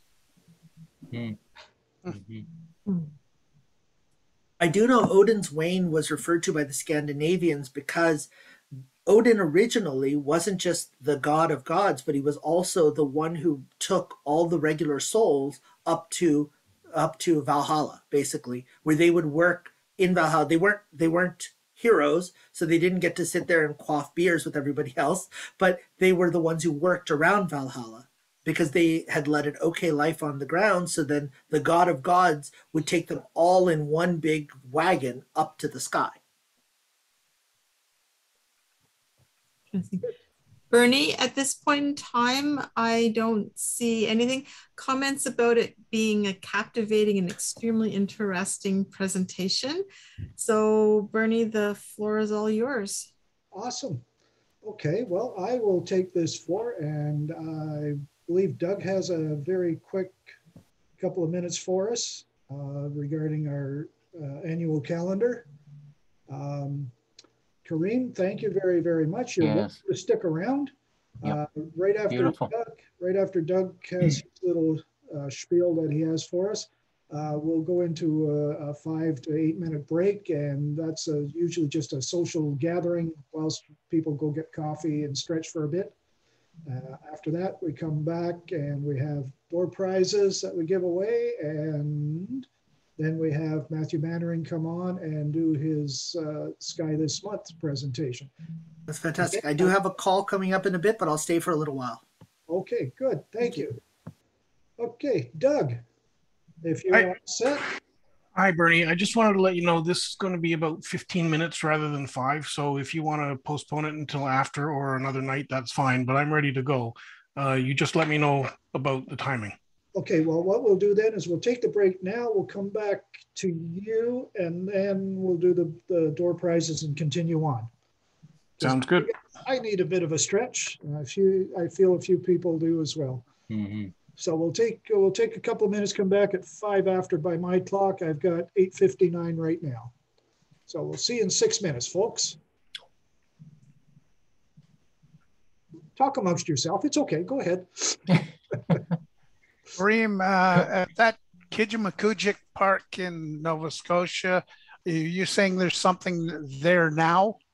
So, uh, right outside the park in one of the public areas, they've built this sky pillar. And that sky pillar now allows you at solar noon to see how far along the uh, along the altitude the sun has reached by seeing how far the shadow of the sky pillar goes. But they do still have um, two-eyed seeing talks a couple of times every summer, where they have both somebody from the First Nations as well as somebody from the local astronomy clubs together doing presentations. Oh, thank you. Oh, you're welcome. There's also a couple of other parks there where they're trying to bring that in. Um, I believe one in New Brunswick, they're trying to bring that in, but it hasn't. I don't think it's been set up yet. But the hope is, is once you know the Acadia First Nations has seen how wonderfully this this promotes some of the work and some of the some of the, even some of the art that their that their members do, right? That uh, they they it brings it brings some positivity into the into the cultural view. Um, I know up north when they do the Aurora 360, they have an entire night hosted by the First Nations where they tell the stories of the auroras, and uh, that includes the drumming circle, that includes the young kids playing, that includes the the actual uh, dances that they teach that are the auroral dances. So there there's a lot more of this happening now, which is wonderful. Um, Yeah, the last time I was there was in the 90s in Kejimkujik, and uh, late 90s, mid 90s. And uh, they didn't have anything like No. that. No, back then, no. This is very recent. This, I believe, it started in 2016 or 2017. Okay. And Do you know how often the Aurora 360 happens? it was twice a year pre-COVID. That's what they had upped it to. And I know, uh, I know Kin is looking at starting it up again come fall. Okay. Put that on my out list. Yeah, I can reach out to Pierre Paquette, and as soon as he tells me that it's happening, I'll let you know. Oh, Thank you. Oh, you're welcome. But uh, Bob, I was going to say that um, the oh, uh, Wilfred Buck actually holds campfire nights uh, in Manitoba, where he shares the stories and he teaches some of the other youth in the Cree Nation to tell the stories as well. And so he talks about grandmother spider, and there's a lot of these stories where he can't share the stories other than in the heart of the summer. That's the only time where you can really talk about some of these stories where the Milky Way is so prominent that you can talk about the wormhole, as they call it, and things like that.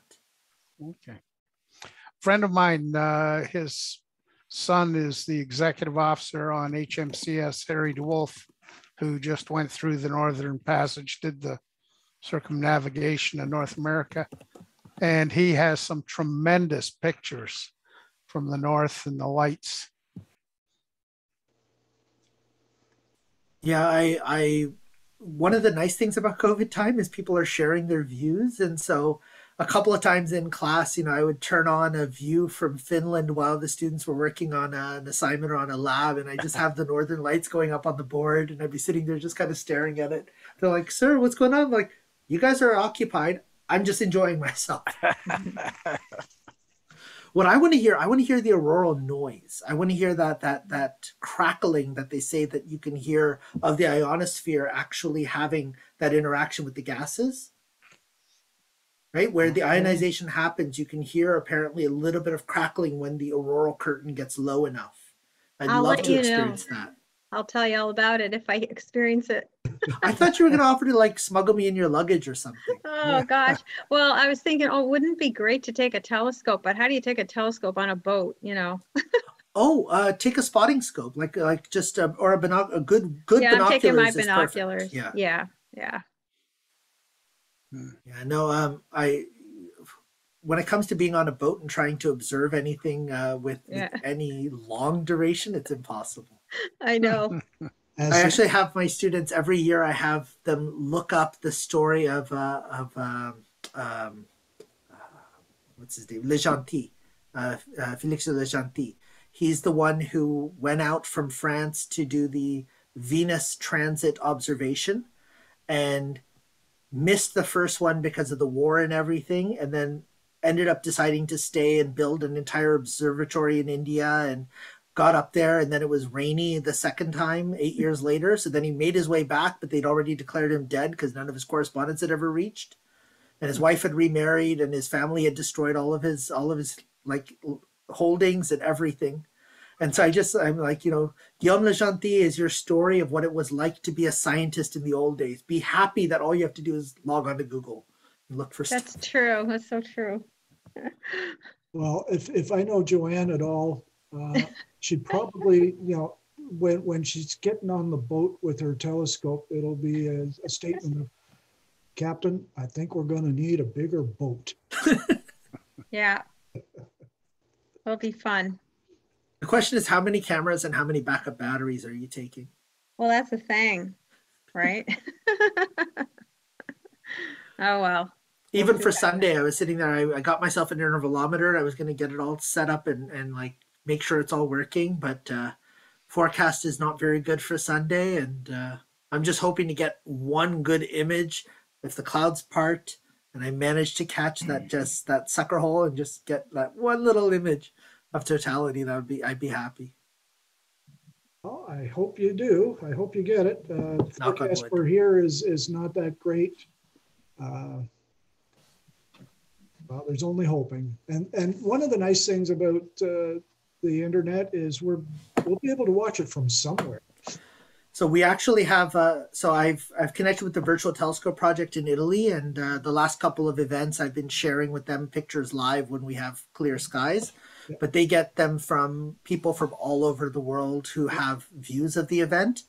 And then our global star party with Explore Scientific is going to be live during the entire lunar eclipse so that people who have views can share them with everybody else. Are, are So you, I'll put I'll put the link for both of them in the chat. are you a, a, a member of the Astronomers with the, Without Borders? I'm not. Uh, our Astronomers Without Borders here in uh, Montreal was actually where the headquarters were for a while, and uh, um, Andrew Fazekas, our former public events coordinator, was their big the night sky guy. He was the one who ran a lot of the Astronomers Without Borders stuff with his wife Zoe. And then they both kind of stopped, and the office and everything moved afar.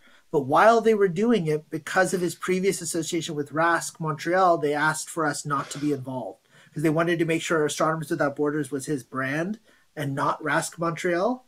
So at the moment, now that he's been away from it for a while, I want to get back to it. I want to kind of restart that relationship. But at the time, just just they didn't want to confuse people as to what he was representing when he did programs. Okay, cool. It's a good organization. And for those members who are not familiar with it, look them up, Google them, find out what's going on with them, give them your support as Absolutely. that you see fit. Anyway, once again, thank you. Uh, My pleasure. You didn't, get, you didn't get much of a break. No worries, no worries. I will have to leave in about 10 minutes or so, so I'll say Okay, thank you for having me from now. But uh, Thank you. We'll be in touch. Uh, especially, I, I think we'll uh, call on you to give us a talk on spectroscopy at some point. sure, that'd be fun. Yeah, I know there's a couple of members that would be interested in that. Right, Michael? Yeah, absolutely. Karim, that, Karim, that was that was a wonderful uh, presentation. Uh, thank you. Thank you, Uh, Michael.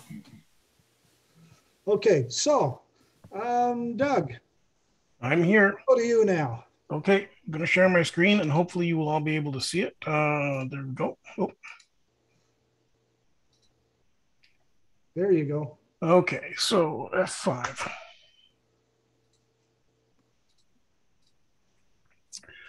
Okay, uh, council has asked me to talk a little bit about some of the technical guidelines that I provided for the images that are going to be presented in the um, upcoming calendar.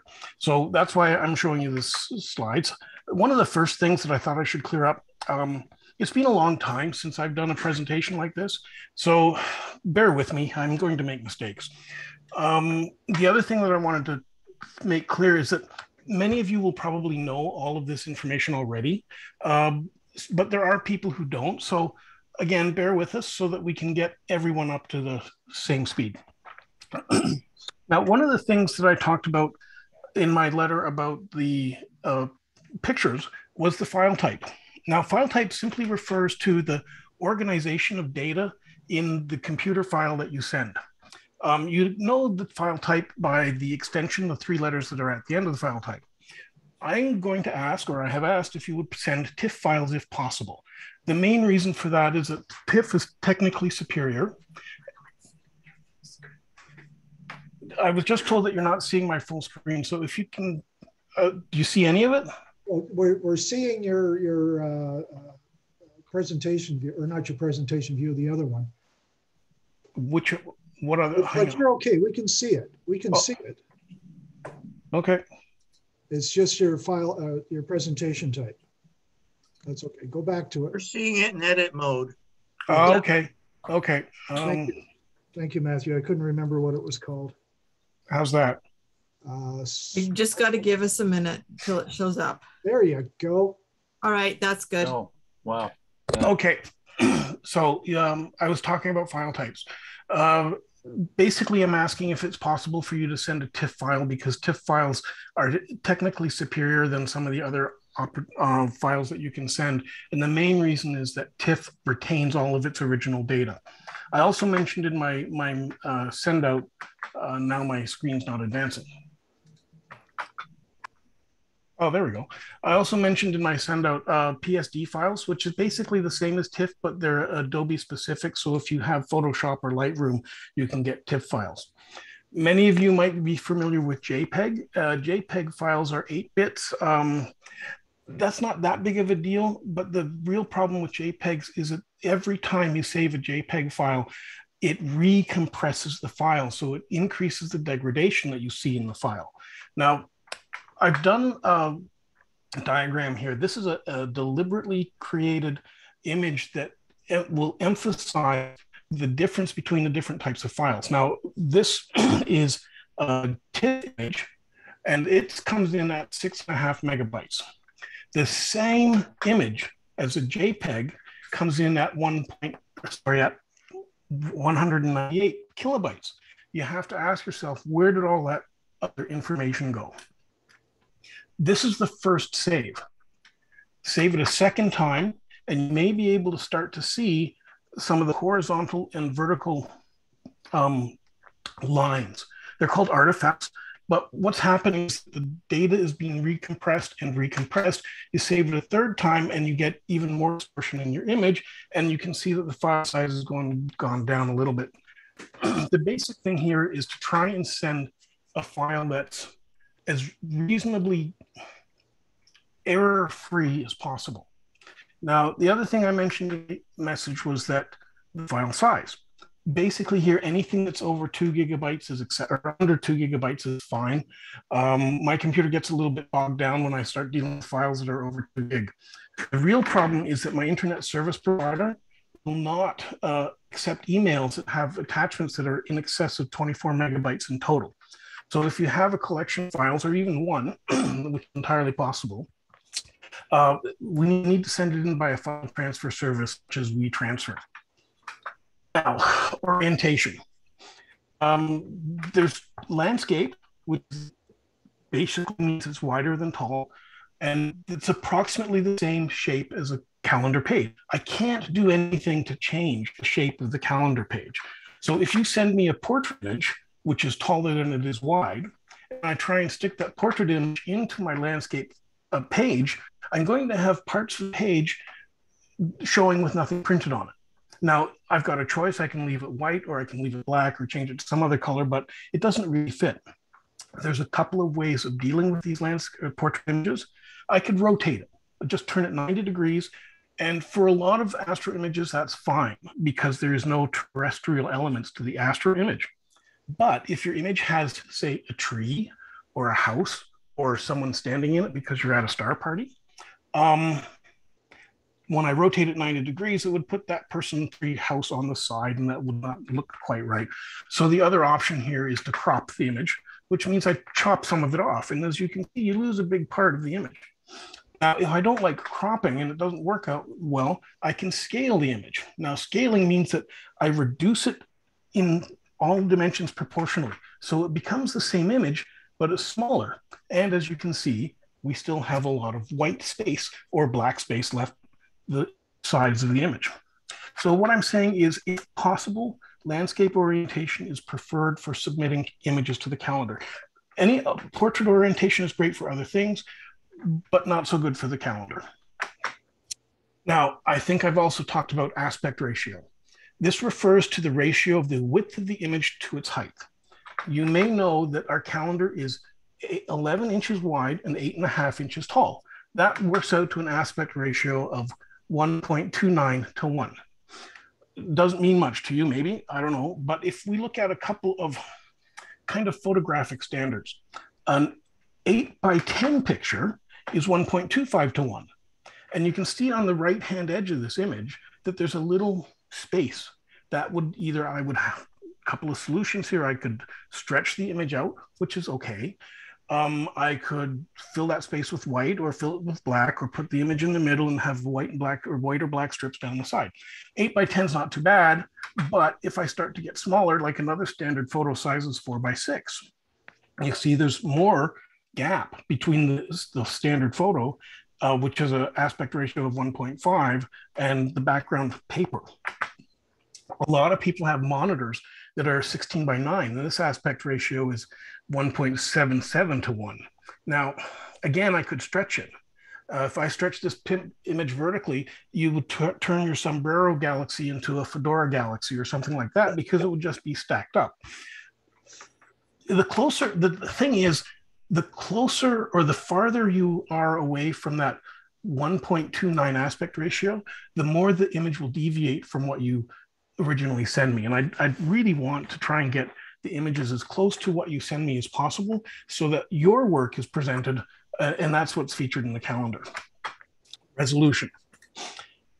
The thing that we're looking for here is if at all possible, 300 pixels per inch.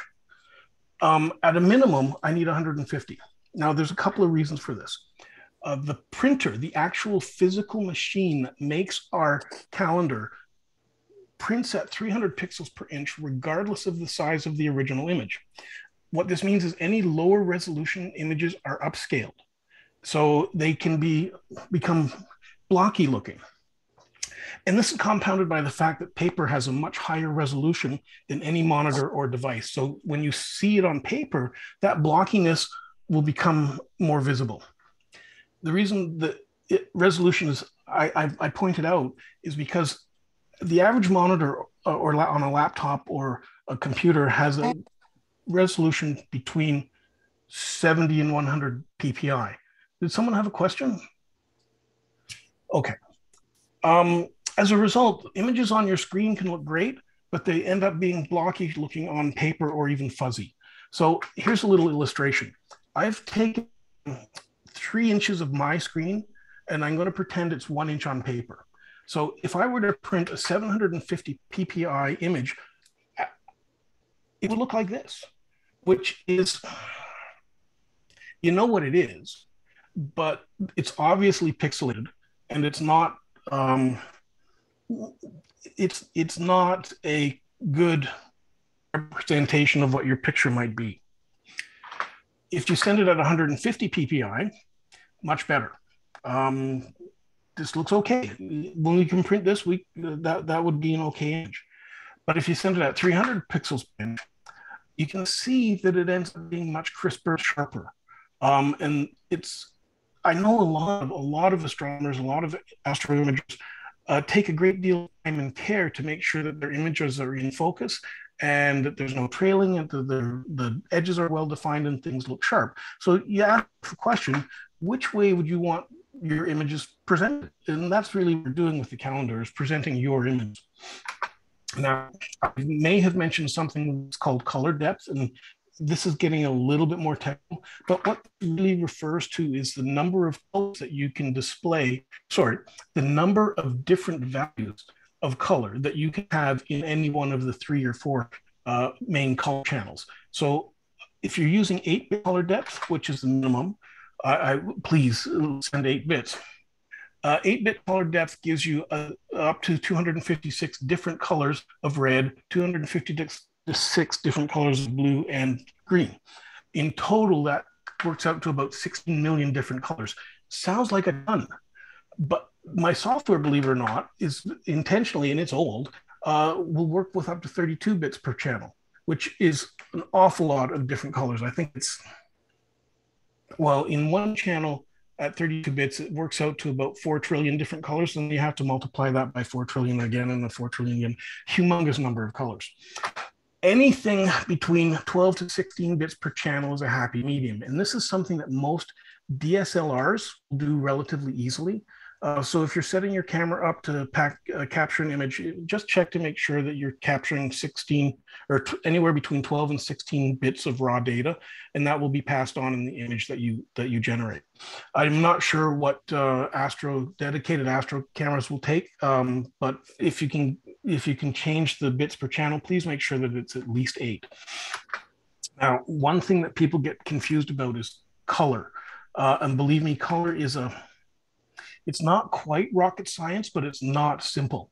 Um, the term color space refers to a set of standardized tools that translate the reproduction capabilities of one device into the, re- the capabilities of a different device. Now, if you spend a few seconds, we'll spend a few seconds thinking about the production stream for a digital image. The first device is the camera that you take to look at that or to capture that image with. The second device is the monitor that you display that image with. The third device are your eyes when you're looking at that monitor. The fourth device Yeah, I'm up to four. Uh, the fourth device is my monitor. I'm looking at it, and my eyes are the fifth device, and then the printer that goes.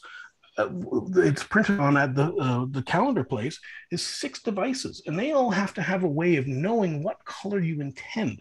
So that's what color space partly refers to, and it's a kind of a complicated thing.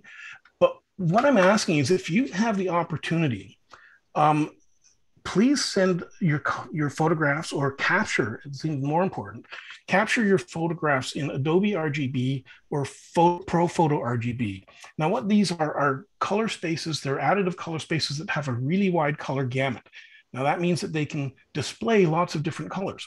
And if you can send me adobe rgb or pro photo rgb i can do a good job of matching what i see on my screen to what you have on your screen. It's preferred over srgb if possible. And as I mentioned, if you can capture your images using Adobe RGB or ProPhoto, that's great. Um, sRGB, which is what you see on your computer monitor at home typically, uh, it's an, also an additive color space, but it's got much more restricted color gamut. It means it displays a, a smaller range of, of colors. Um, it's acceptable, but it means that in all likelihood, the what you see on your screen will not be faithfully reproduced when we print onto paper.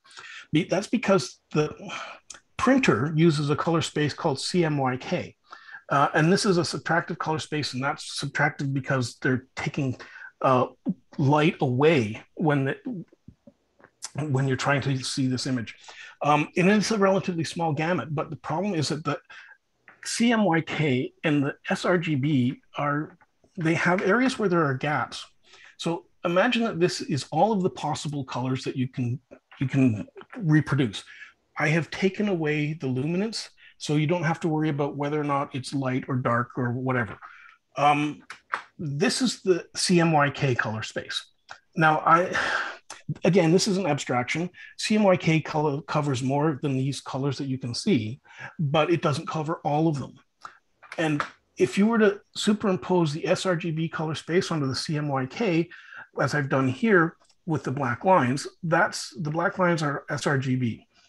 That doesn't do all of the CMYK, and it doesn't do all of the. Uh, there, there are some colors in CMYK that sRGB can't produce, and there are some colors in sRGB that CMYK can't produce. So to avoid that, I'm asking if possible, now it's not possible all the time, I know that, to send Adobe RGB.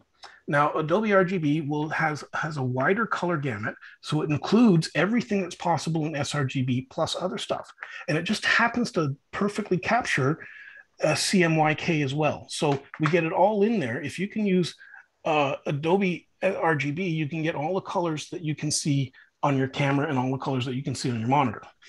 If you are using a more sophisticated camera, ProPhoto RGB has an even bigger color space than Adobe RGB. So that's why I would suggest that you use that instead. Don't worry, if we're coming to the end, it's almost done.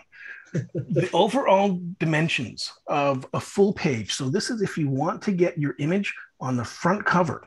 Uh, you need to send me a photo that has uh, at least 3,375 pixels across um, and at a minimum, 1,678 pixels. The, both of these are relatively easy to come up with. It's an 11 inch wide paper, and I have to add an eighth of an inch on each side for the printer in case they don't line the paper up properly. And then you just multiply it by the 300. So that's how we get a 3375. The height works out the same way. Um, maximum, like the best height possible, if you can send it, is 2,625 pixels.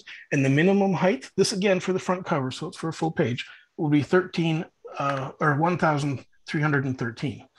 Now, if you're looking to get your photo on the gallery page at the back, where we take the main page and divide it up into four sections, basically the height and width is divided in half.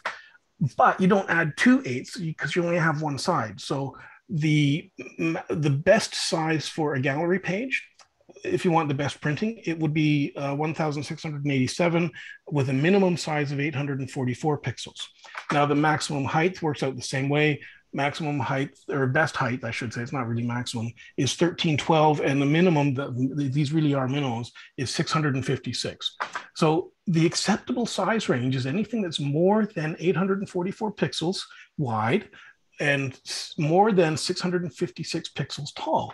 But be aware that the target dimensions, of the image dimensions, will impact the placement of your image in the calendar. If you're significantly below the minimum for the full scale, you're not going to, I'm not going to be able to print your image on one of the pages. Now, I believe that's it. If you have any questions, I'd be happy to hear. Wow. And if you don't, that's.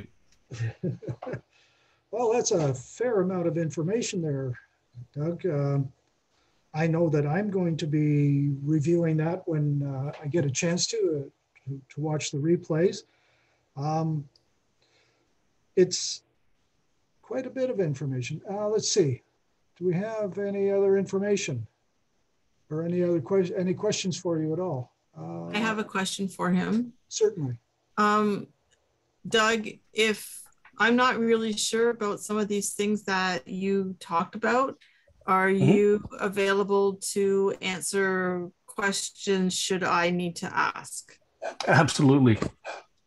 Yeah. And But could we could we post this presentation on the website so that it's easily accessible for people to go back and review? um, I'll be able to do Yeah. that. okay. What do you need, Chris? Uh, I've got it. I'm recording on my computer, so I just need to uh, edit that portion out, and I'll uh, post it on the website, probably under resources. Okay. Awesome, awesome. That's, that's excellent. Okay. Okay. Thank you all so very, very much, Doug. And of course, thank you so, for all the work you do with the, uh, with the uh, calendar. Look forward. No forward, problem. look forward to the next edition. Okay. Okay, so Family Whitman. Melissa, oh, there you are. Hey, hey there. How are you? Ready and waiting. Waiting and ready. Really? Okay. Well, um, we have three books tonight. There are three giveaways. Uh, let's try to do lost Bernie.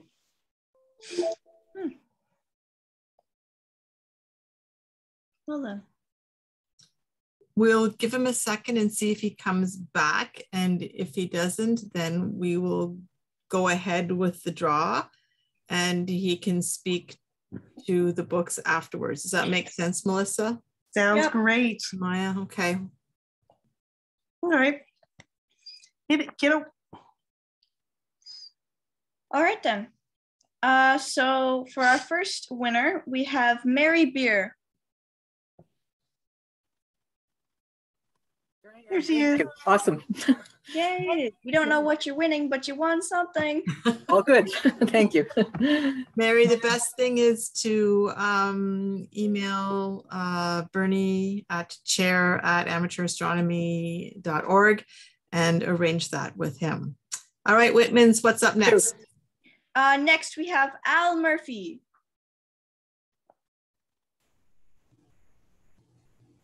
Is Al Murphy with us? Let me check. I don't think so. I don't think so. That's No. okay. All right. Well, next we have Leslie.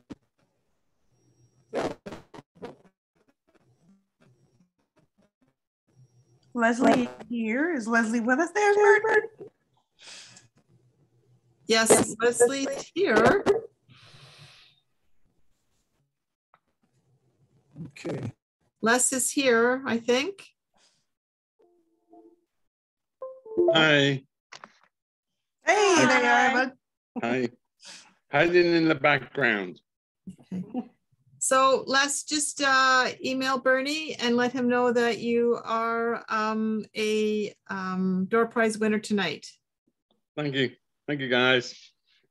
No problem. Uh, and next we have, um, I'm sorry if I pronounce this wrong. Um, Yvonne. That's it.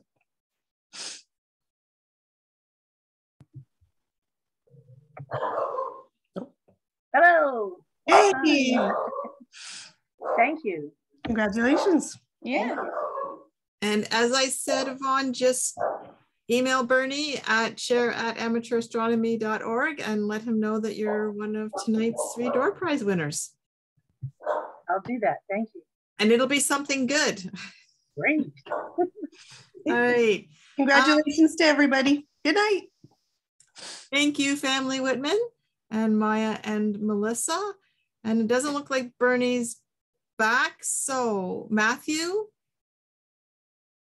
are you ready to go? I'm still here. Yep. All right, let's go. You're up. So, uh, hopefully everybody sticks around. The second half talks about donuts, so it'll be a bit different. Let's see here what we got. Share screen. Screen.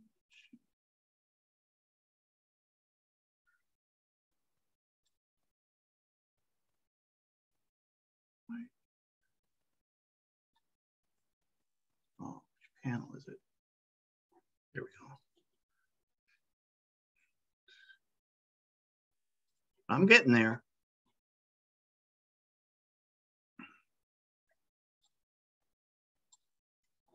Okay, let's give this a go. Welcome to the sky this month for May of 22. Uh, this month, I'm really going to talk about a bunch of things that either happened or that I've seen in the news. Next month, I'm going to do the sky for the summer. So that'll be early June. I'll be covering the sky for the summer. Uh, that'll be my main part of the talk.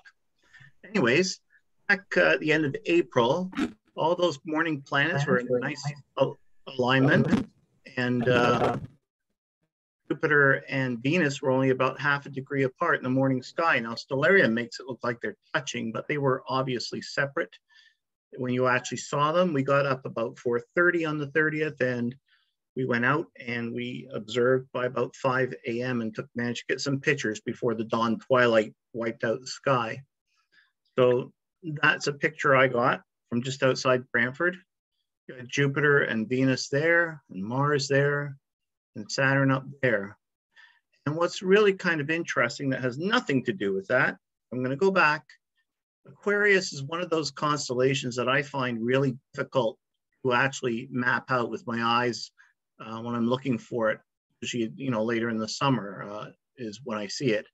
It's next to Capricorn, but it, as you can see, there's not very many bright stars. They're all like magnitude four, three, whatever. They're not very bright. There's one thing you can always count on is this little piece right here. And I call it the chaise lounge or the, you know, the, the zero grav chair, your, your recliner, whatever way you want to think of it. That part is really visually obvious in the sky and it allows you to give a starting point to find the rest of the constellation. And if you look up, there's Mars. If you look up above, there's actually the recliner right there, and it will lead to other stars in the constellation. So that's just an observing tip for later in the summer, because even in a dark sky, some of these constellations are not very bright. And in fact, the darker it is, the more stars there are, it gets actually harder to see than it was before. Uh, back about a month ago, John Gofros sent me this awesome picture he took with his 130 millimeter refractor. And what he did was he held his cell phone up to the eyepiece and took this picture. And it's just beautiful. And I imagine he ran it through a little bit of uh, photo processing, but uh, to get that amount of detail and, and get that kind of clarity and, and uh, contrast, there has to be really good bones to the picture to do that. So really a stunning picture. I blew up the center part of it, just to talk about quickly about a few of the things there that you can look up on your map of the moon. So just to the north is this big area here is Mare Imbrium, Sea of Rains. Here is the Carpathian Mountains. Now, what's interesting about a lot of the mountain ranges on the moon, that they're actually the rim of impacts on the moon. And, and these uh, Mare, like Imbrium, are really big. So you can actually sort of draw a circle around the edge and you'll see all these mountain ranges. And really, it's, you know, what happens when a conking rock hits the moon and makes a big hole. You end up with all these mountain ridges around the edges, and that's what you see. Uh, this area here, right by this crater Eratosthenes, is called the Bay of Heat. And when I saw this, the next thing I saw was Mare Insularum. And I'm thinking, oh, the insulated Bay of Heat. Of course, that wasn't right it's the Sea of Islands because those are, you know, isolated, I guess. And that's way down over here. The crater Copernicus is one of the standout craters on the moon with its great eject blanket around it and all the impacts from the ejecta raining back down on the moon. And Eratosthenes here is one of my favorites because it's one of the first craters that I learned to recognize when I was a little kid and when the Apennine Mountains over here. This image is actually right to left because in a refractor, it does turn the image from right to left. As a few people have already mentioned, the, the lunar eclipse is coming. This is in the event horizon, these slides, and I'm not going to waste a lot of time on it. Hopefully, we're going to get a glimpse. The weather report is now better for Sunday night than it was, but it's still not really what I would call awesome. So just have to get your stuff out and your chair and sit back and hope. So anyways, uh, first contact with the umbra, which is Earth's, the dark part of Earth's shadow in here, is about 1030. That's when the shadow will start to take little beats out of the moon. By 1130, the moon will be totally uh, within the, the umbra of the Earth. And it should be quite a nice dark orangey red, really dark, because that volcano on the island of Tonga blew up early this year. And apparently they they released some information saying that the explosion was larger than the one that Krakatoa went through in the late uh, 19th century. So there's an awful lot of it's a dirt up in the upper atmosphere that are you know working to change and refract uh, some of the wavelengths and leave us with this dark red color. So it should be really quite spooky if we get to see it. By 10 after 12-ish, the moon will be at its uh, closest point to the center of the umbra. So this is the moment of greatest eclipse. And five to one, it will be starting to emerge from the umbra into the penumbra here, which is the sort of the outer edges of the Earth's shadow, and they're very light. So when the moon is in the penumbra, it's very difficult to see it as being any dimmer than when it's just outside completely. So really the time you want to be looking at it is when it's in the umbra. So the whole thing is all over by 2 a.m. But just depends on how the weather is and how long you can keep your eyes open. The James Webb, yay! It's actually almost ready to go. They're running calibrations now on all the cameras. Uh, they actually calibrate the cameras versus the the uh, mirror segments and try to see if there's any distortion where they actually have known locations of stars in the image. I mean, exactly to probably the milliarc second. And then they check to make sure the stars are where they're supposed to be. And if they're not, if they're off by a tiny bit, they actually will and use the computer to correct any images they get to get everything head on. Now, Spitzer, which is one of the great space telescopes of all time, this is what the uh, part of the larger Magellanic Cloud looked like. And this is what it looks like with Webb.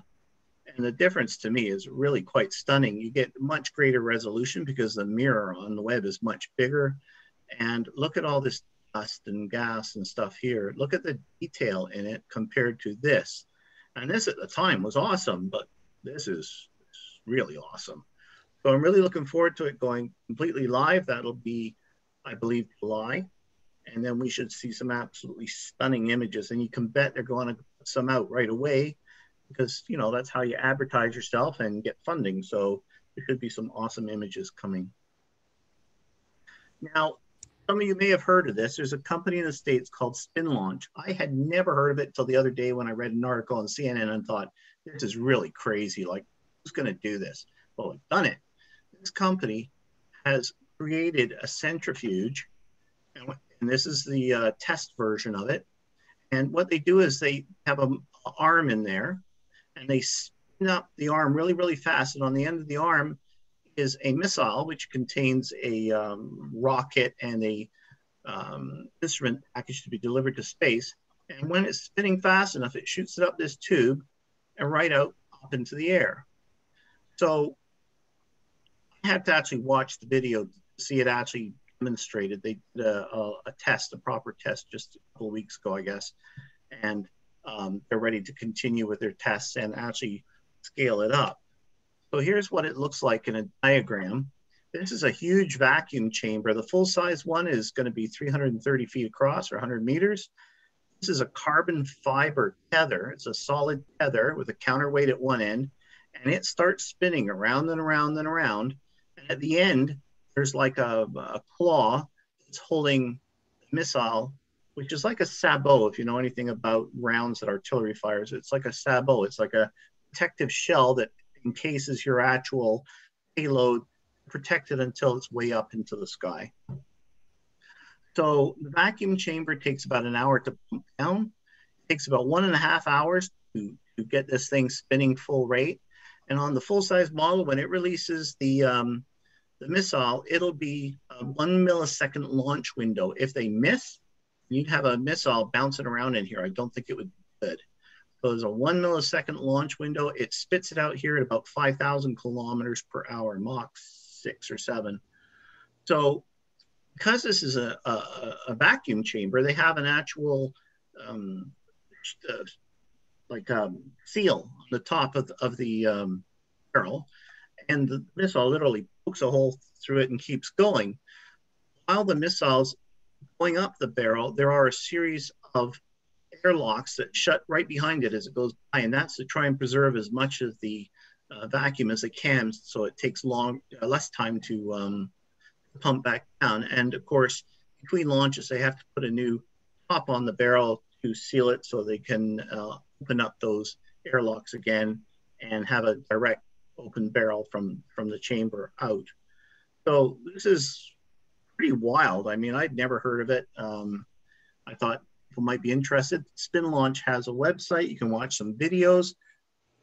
What I did was they I didn't want you to watch a three and a half, four minute video. So I held my phone up my laptop and I took a video on my phone and then I sent it by email back to my laptop. And here's the 16 seconds that counts. It's going to show the um, tether spinning in the centrifuge. It's going to show the missile going out the tube or the barrel. It'll show the sabot releasing higher up in the atmosphere and the rocket engine um, uh, turning on and taking the payload up to space.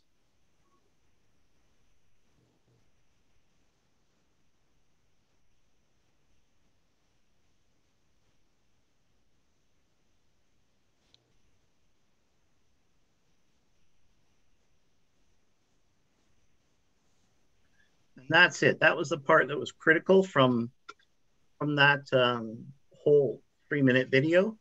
But if you get a chance, look it up. It's really quite interesting technically and imaginative. I don't know whether they'll really succeed, but they have funding and they're they're going for it.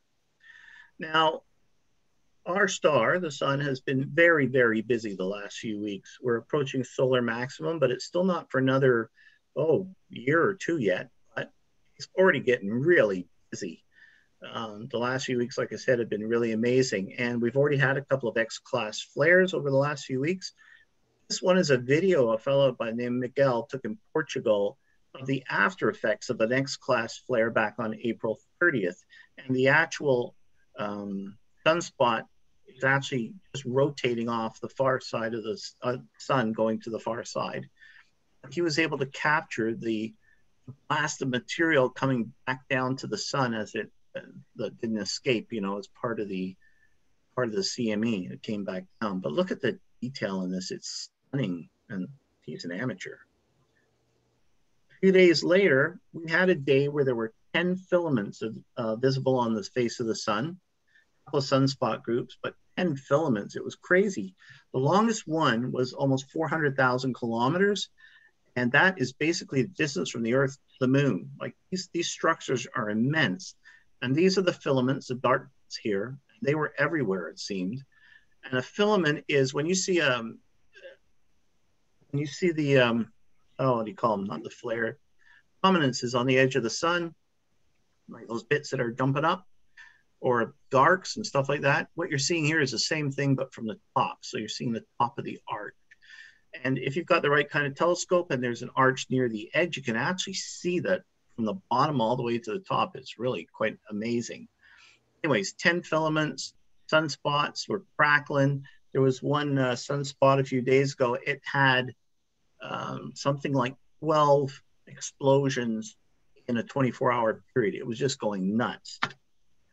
But here's the most recent X-class flare right in the middle there. And there's a C-class flare going over here. And you can actually see these huge magnetic lines of plasma that, are occurring around that sunspot. I mean, it was nasty, but it was also really interesting to see.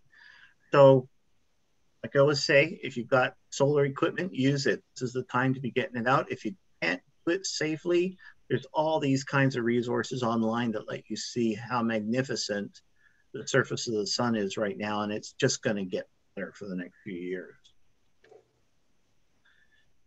And this, thank goodness, uh, yesterday they released the first ever image of the black hole at the center of the Milky Way. And this was really timely because that last slide I showed you was as far as I had gotten. I was out of ideas. And then this came up as like, awesome.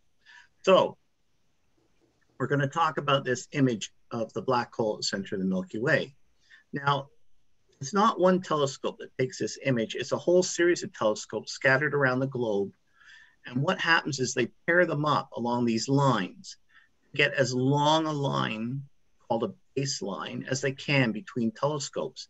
So effectively, if you've got a telescope there at Veleta and this one at Cerro, baseline is this length, and that is the effective diameter of the uh, mirror of the telescope.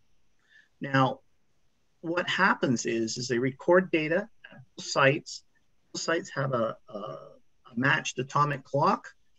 And then they take all that data, which is now all time stamped with the atomic clock numbers, and then they take the information and they basically superimpose it over each other so they can boost the signal. And so as the Earth spins, you've got all these different combinations of telescopes that can take one observation right after the other. So all these things have an actual name. These this type of astronomy is called very long baseline interferometry. Interferometry is a fancy way of saying you collect data on two different telescopes and combine it. Now here's the actual image. It was released yesterday. I'm sure quite a few of you have seen it. Pretty cool. It looks an awful lot like M87 star that we saw back in 2019. I still remember that day. Uh, a few of us were together judging at a, a, science fair at a school in, in uh, Hamilton. So the center of our galaxy, visually for us, is in Sagittarius, which for us is a summer constellation. And this is somewhere down south because we never see, you know, Sagittarius is high in the sky. The way to find it is if you know Sagittarius, the constellation, it's just off the tip of the of the uh, spout, is where the center of our galaxy is.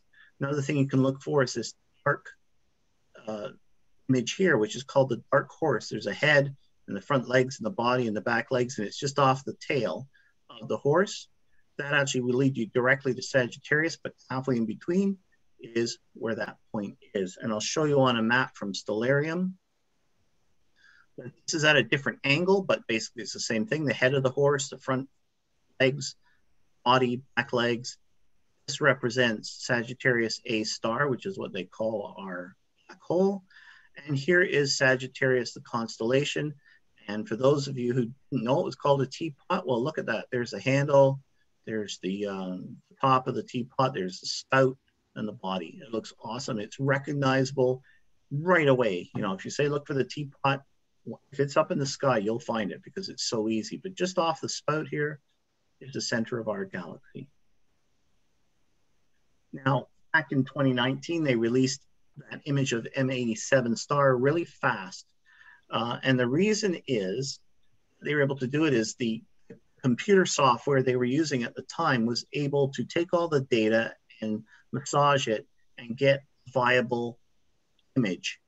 The problem with our Sagittarius A star black hole is it is way smaller. It's way closer, obviously, but it's also way smaller and it's not chewing up the same amount of material as M87's black hole. So what happens is, is that basically when you take these images with a radio telescope, you're doing long exposures. And because the material at the event horizon around our black hole a complete orbit around the event horizon in minutes compared to days or weeks from M87, you get all this blurred imaging. So they had to figure out how to deal with that. Well, that's what I just talked about. You know, gas is uh, days to weeks at M87, but minutes to go around ours. So really, the image around our our um, black hole was changing rapidly. And what they did was they came up with four data sets, which are shown down here. And this bar graph shows the relative amount of data for each of these data sets. And of course, the part that's colored is for this particular data set. And then the purple here is the next one, the next data set, the green. And then this, I think, is yellow down here. And you can see this is pretty mushy. I'm not sure how useful that data is in the first place. But then they take this other stuff, and this is where they had to design the software to do this. And they massage it, and they come up with an, uh, an average or a mean value for, for everything that represents, best represents what the black hole would look like. And uh, and that's what they came up with. But it took years and and literally hundreds of people working on this to come up with this. So the, the software must be extraordinarily complex to do that. Now, when you're dealing with any of these stories, and if you've read about this stuff online, there's lots of stuff about this, this uh, Sagittarius A star that um, they talked about yesterday. There's tons of information, and they gave a couple analogies to try and point out how difficult it is to do this. So compared it to capturing a photo of a grain of salt in New York City using a camera in Los Angeles. Think about that. You your camera, if you could actually see New York City instead of it being over the horizon, you'd be trying to take a picture of a grain of salt. The other analogy they gave was if you could actually see it in our night sky, the black hole would appear to be the same size as a donut sitting on the moon. And this is the part that I read that really turned my crank, and I thought I can do something with that. Donuts are great. do something with this. So, just as an example, here's John's image again, just of Copernicus. And has a diameter of 93 kilometers. And if you were to try and put donuts right next to each other all the way across, string them together to go right across, it would take 1,162,500 Krispy Kreme donuts to do that pretty awesome. That's probably as many as all of Canada eats in a day, if you think about it, which is kind of also kind of disgusting. But hey. Now, from there, I thought, well, I should be able to calculate the resolution the telescope in arc seconds using the donut analogy and get pretty close, which most normal people wouldn't probably think about. I did. Oh, so, anyways, I decided that I would give it a go.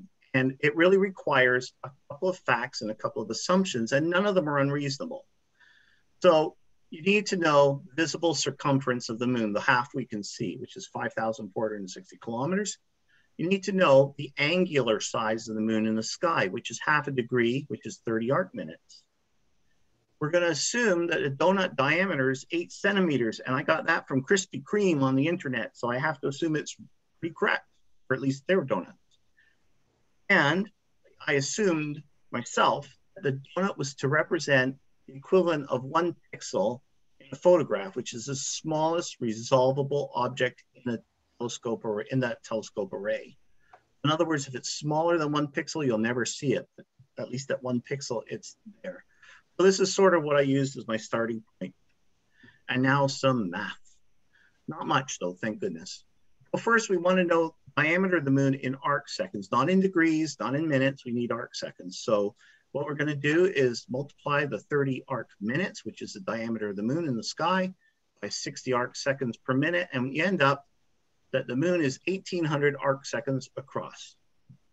Then we need to know how many donuts would be required to form a line all the way across the face of, this, of the moon uh, from one side to the other around its circumference assuming that the sphere is flat, because I can't take all the mountains and the valleys and the craters and everything into consideration. That would be just silly. Well, here we go. So because the donuts are eight centimeters, there's 12 and a half donuts per meter, which is D per M, donuts per meter, right? 1,000 meters in a kilometer. So now you got 12,500 donuts in, per kilometer. And now we got the circumference times the number of donuts per kilometer. And it turns out you need 68,250,000 donuts to go from one side to the other.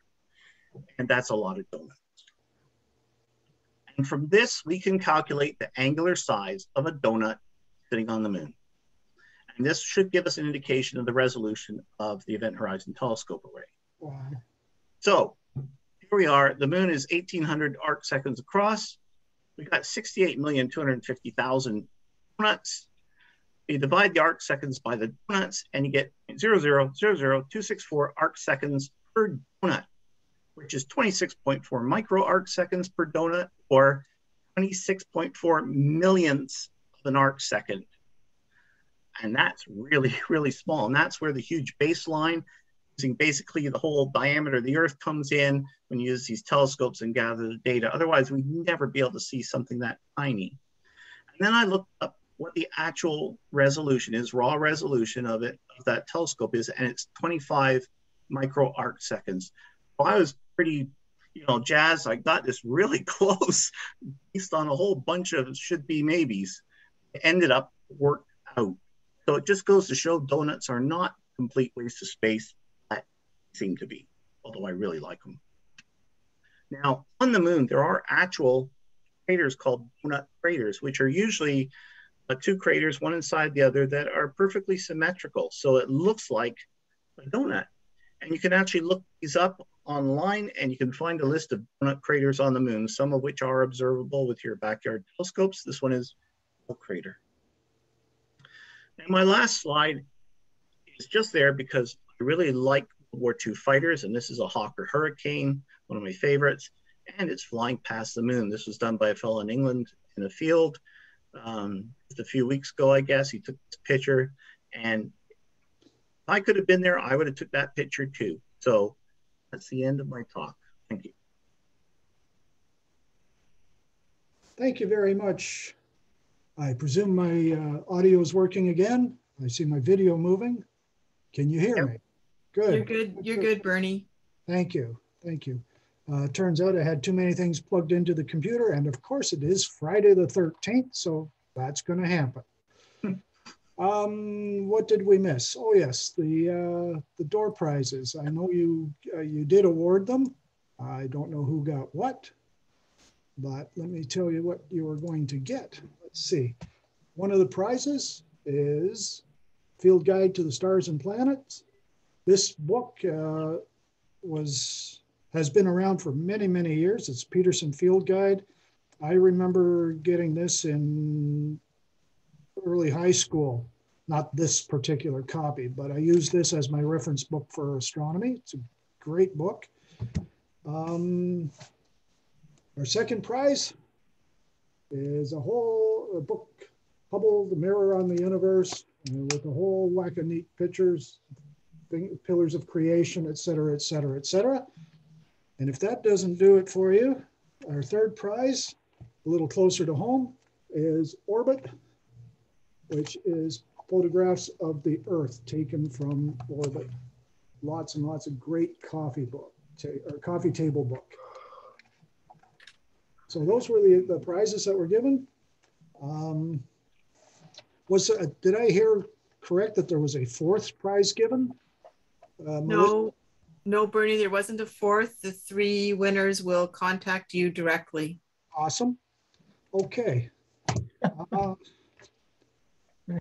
I guess I need just to give thanks to uh, to our speaker. I believe he has left us already. Yes, I, I, saw a message that he had to go. He thanked us very much.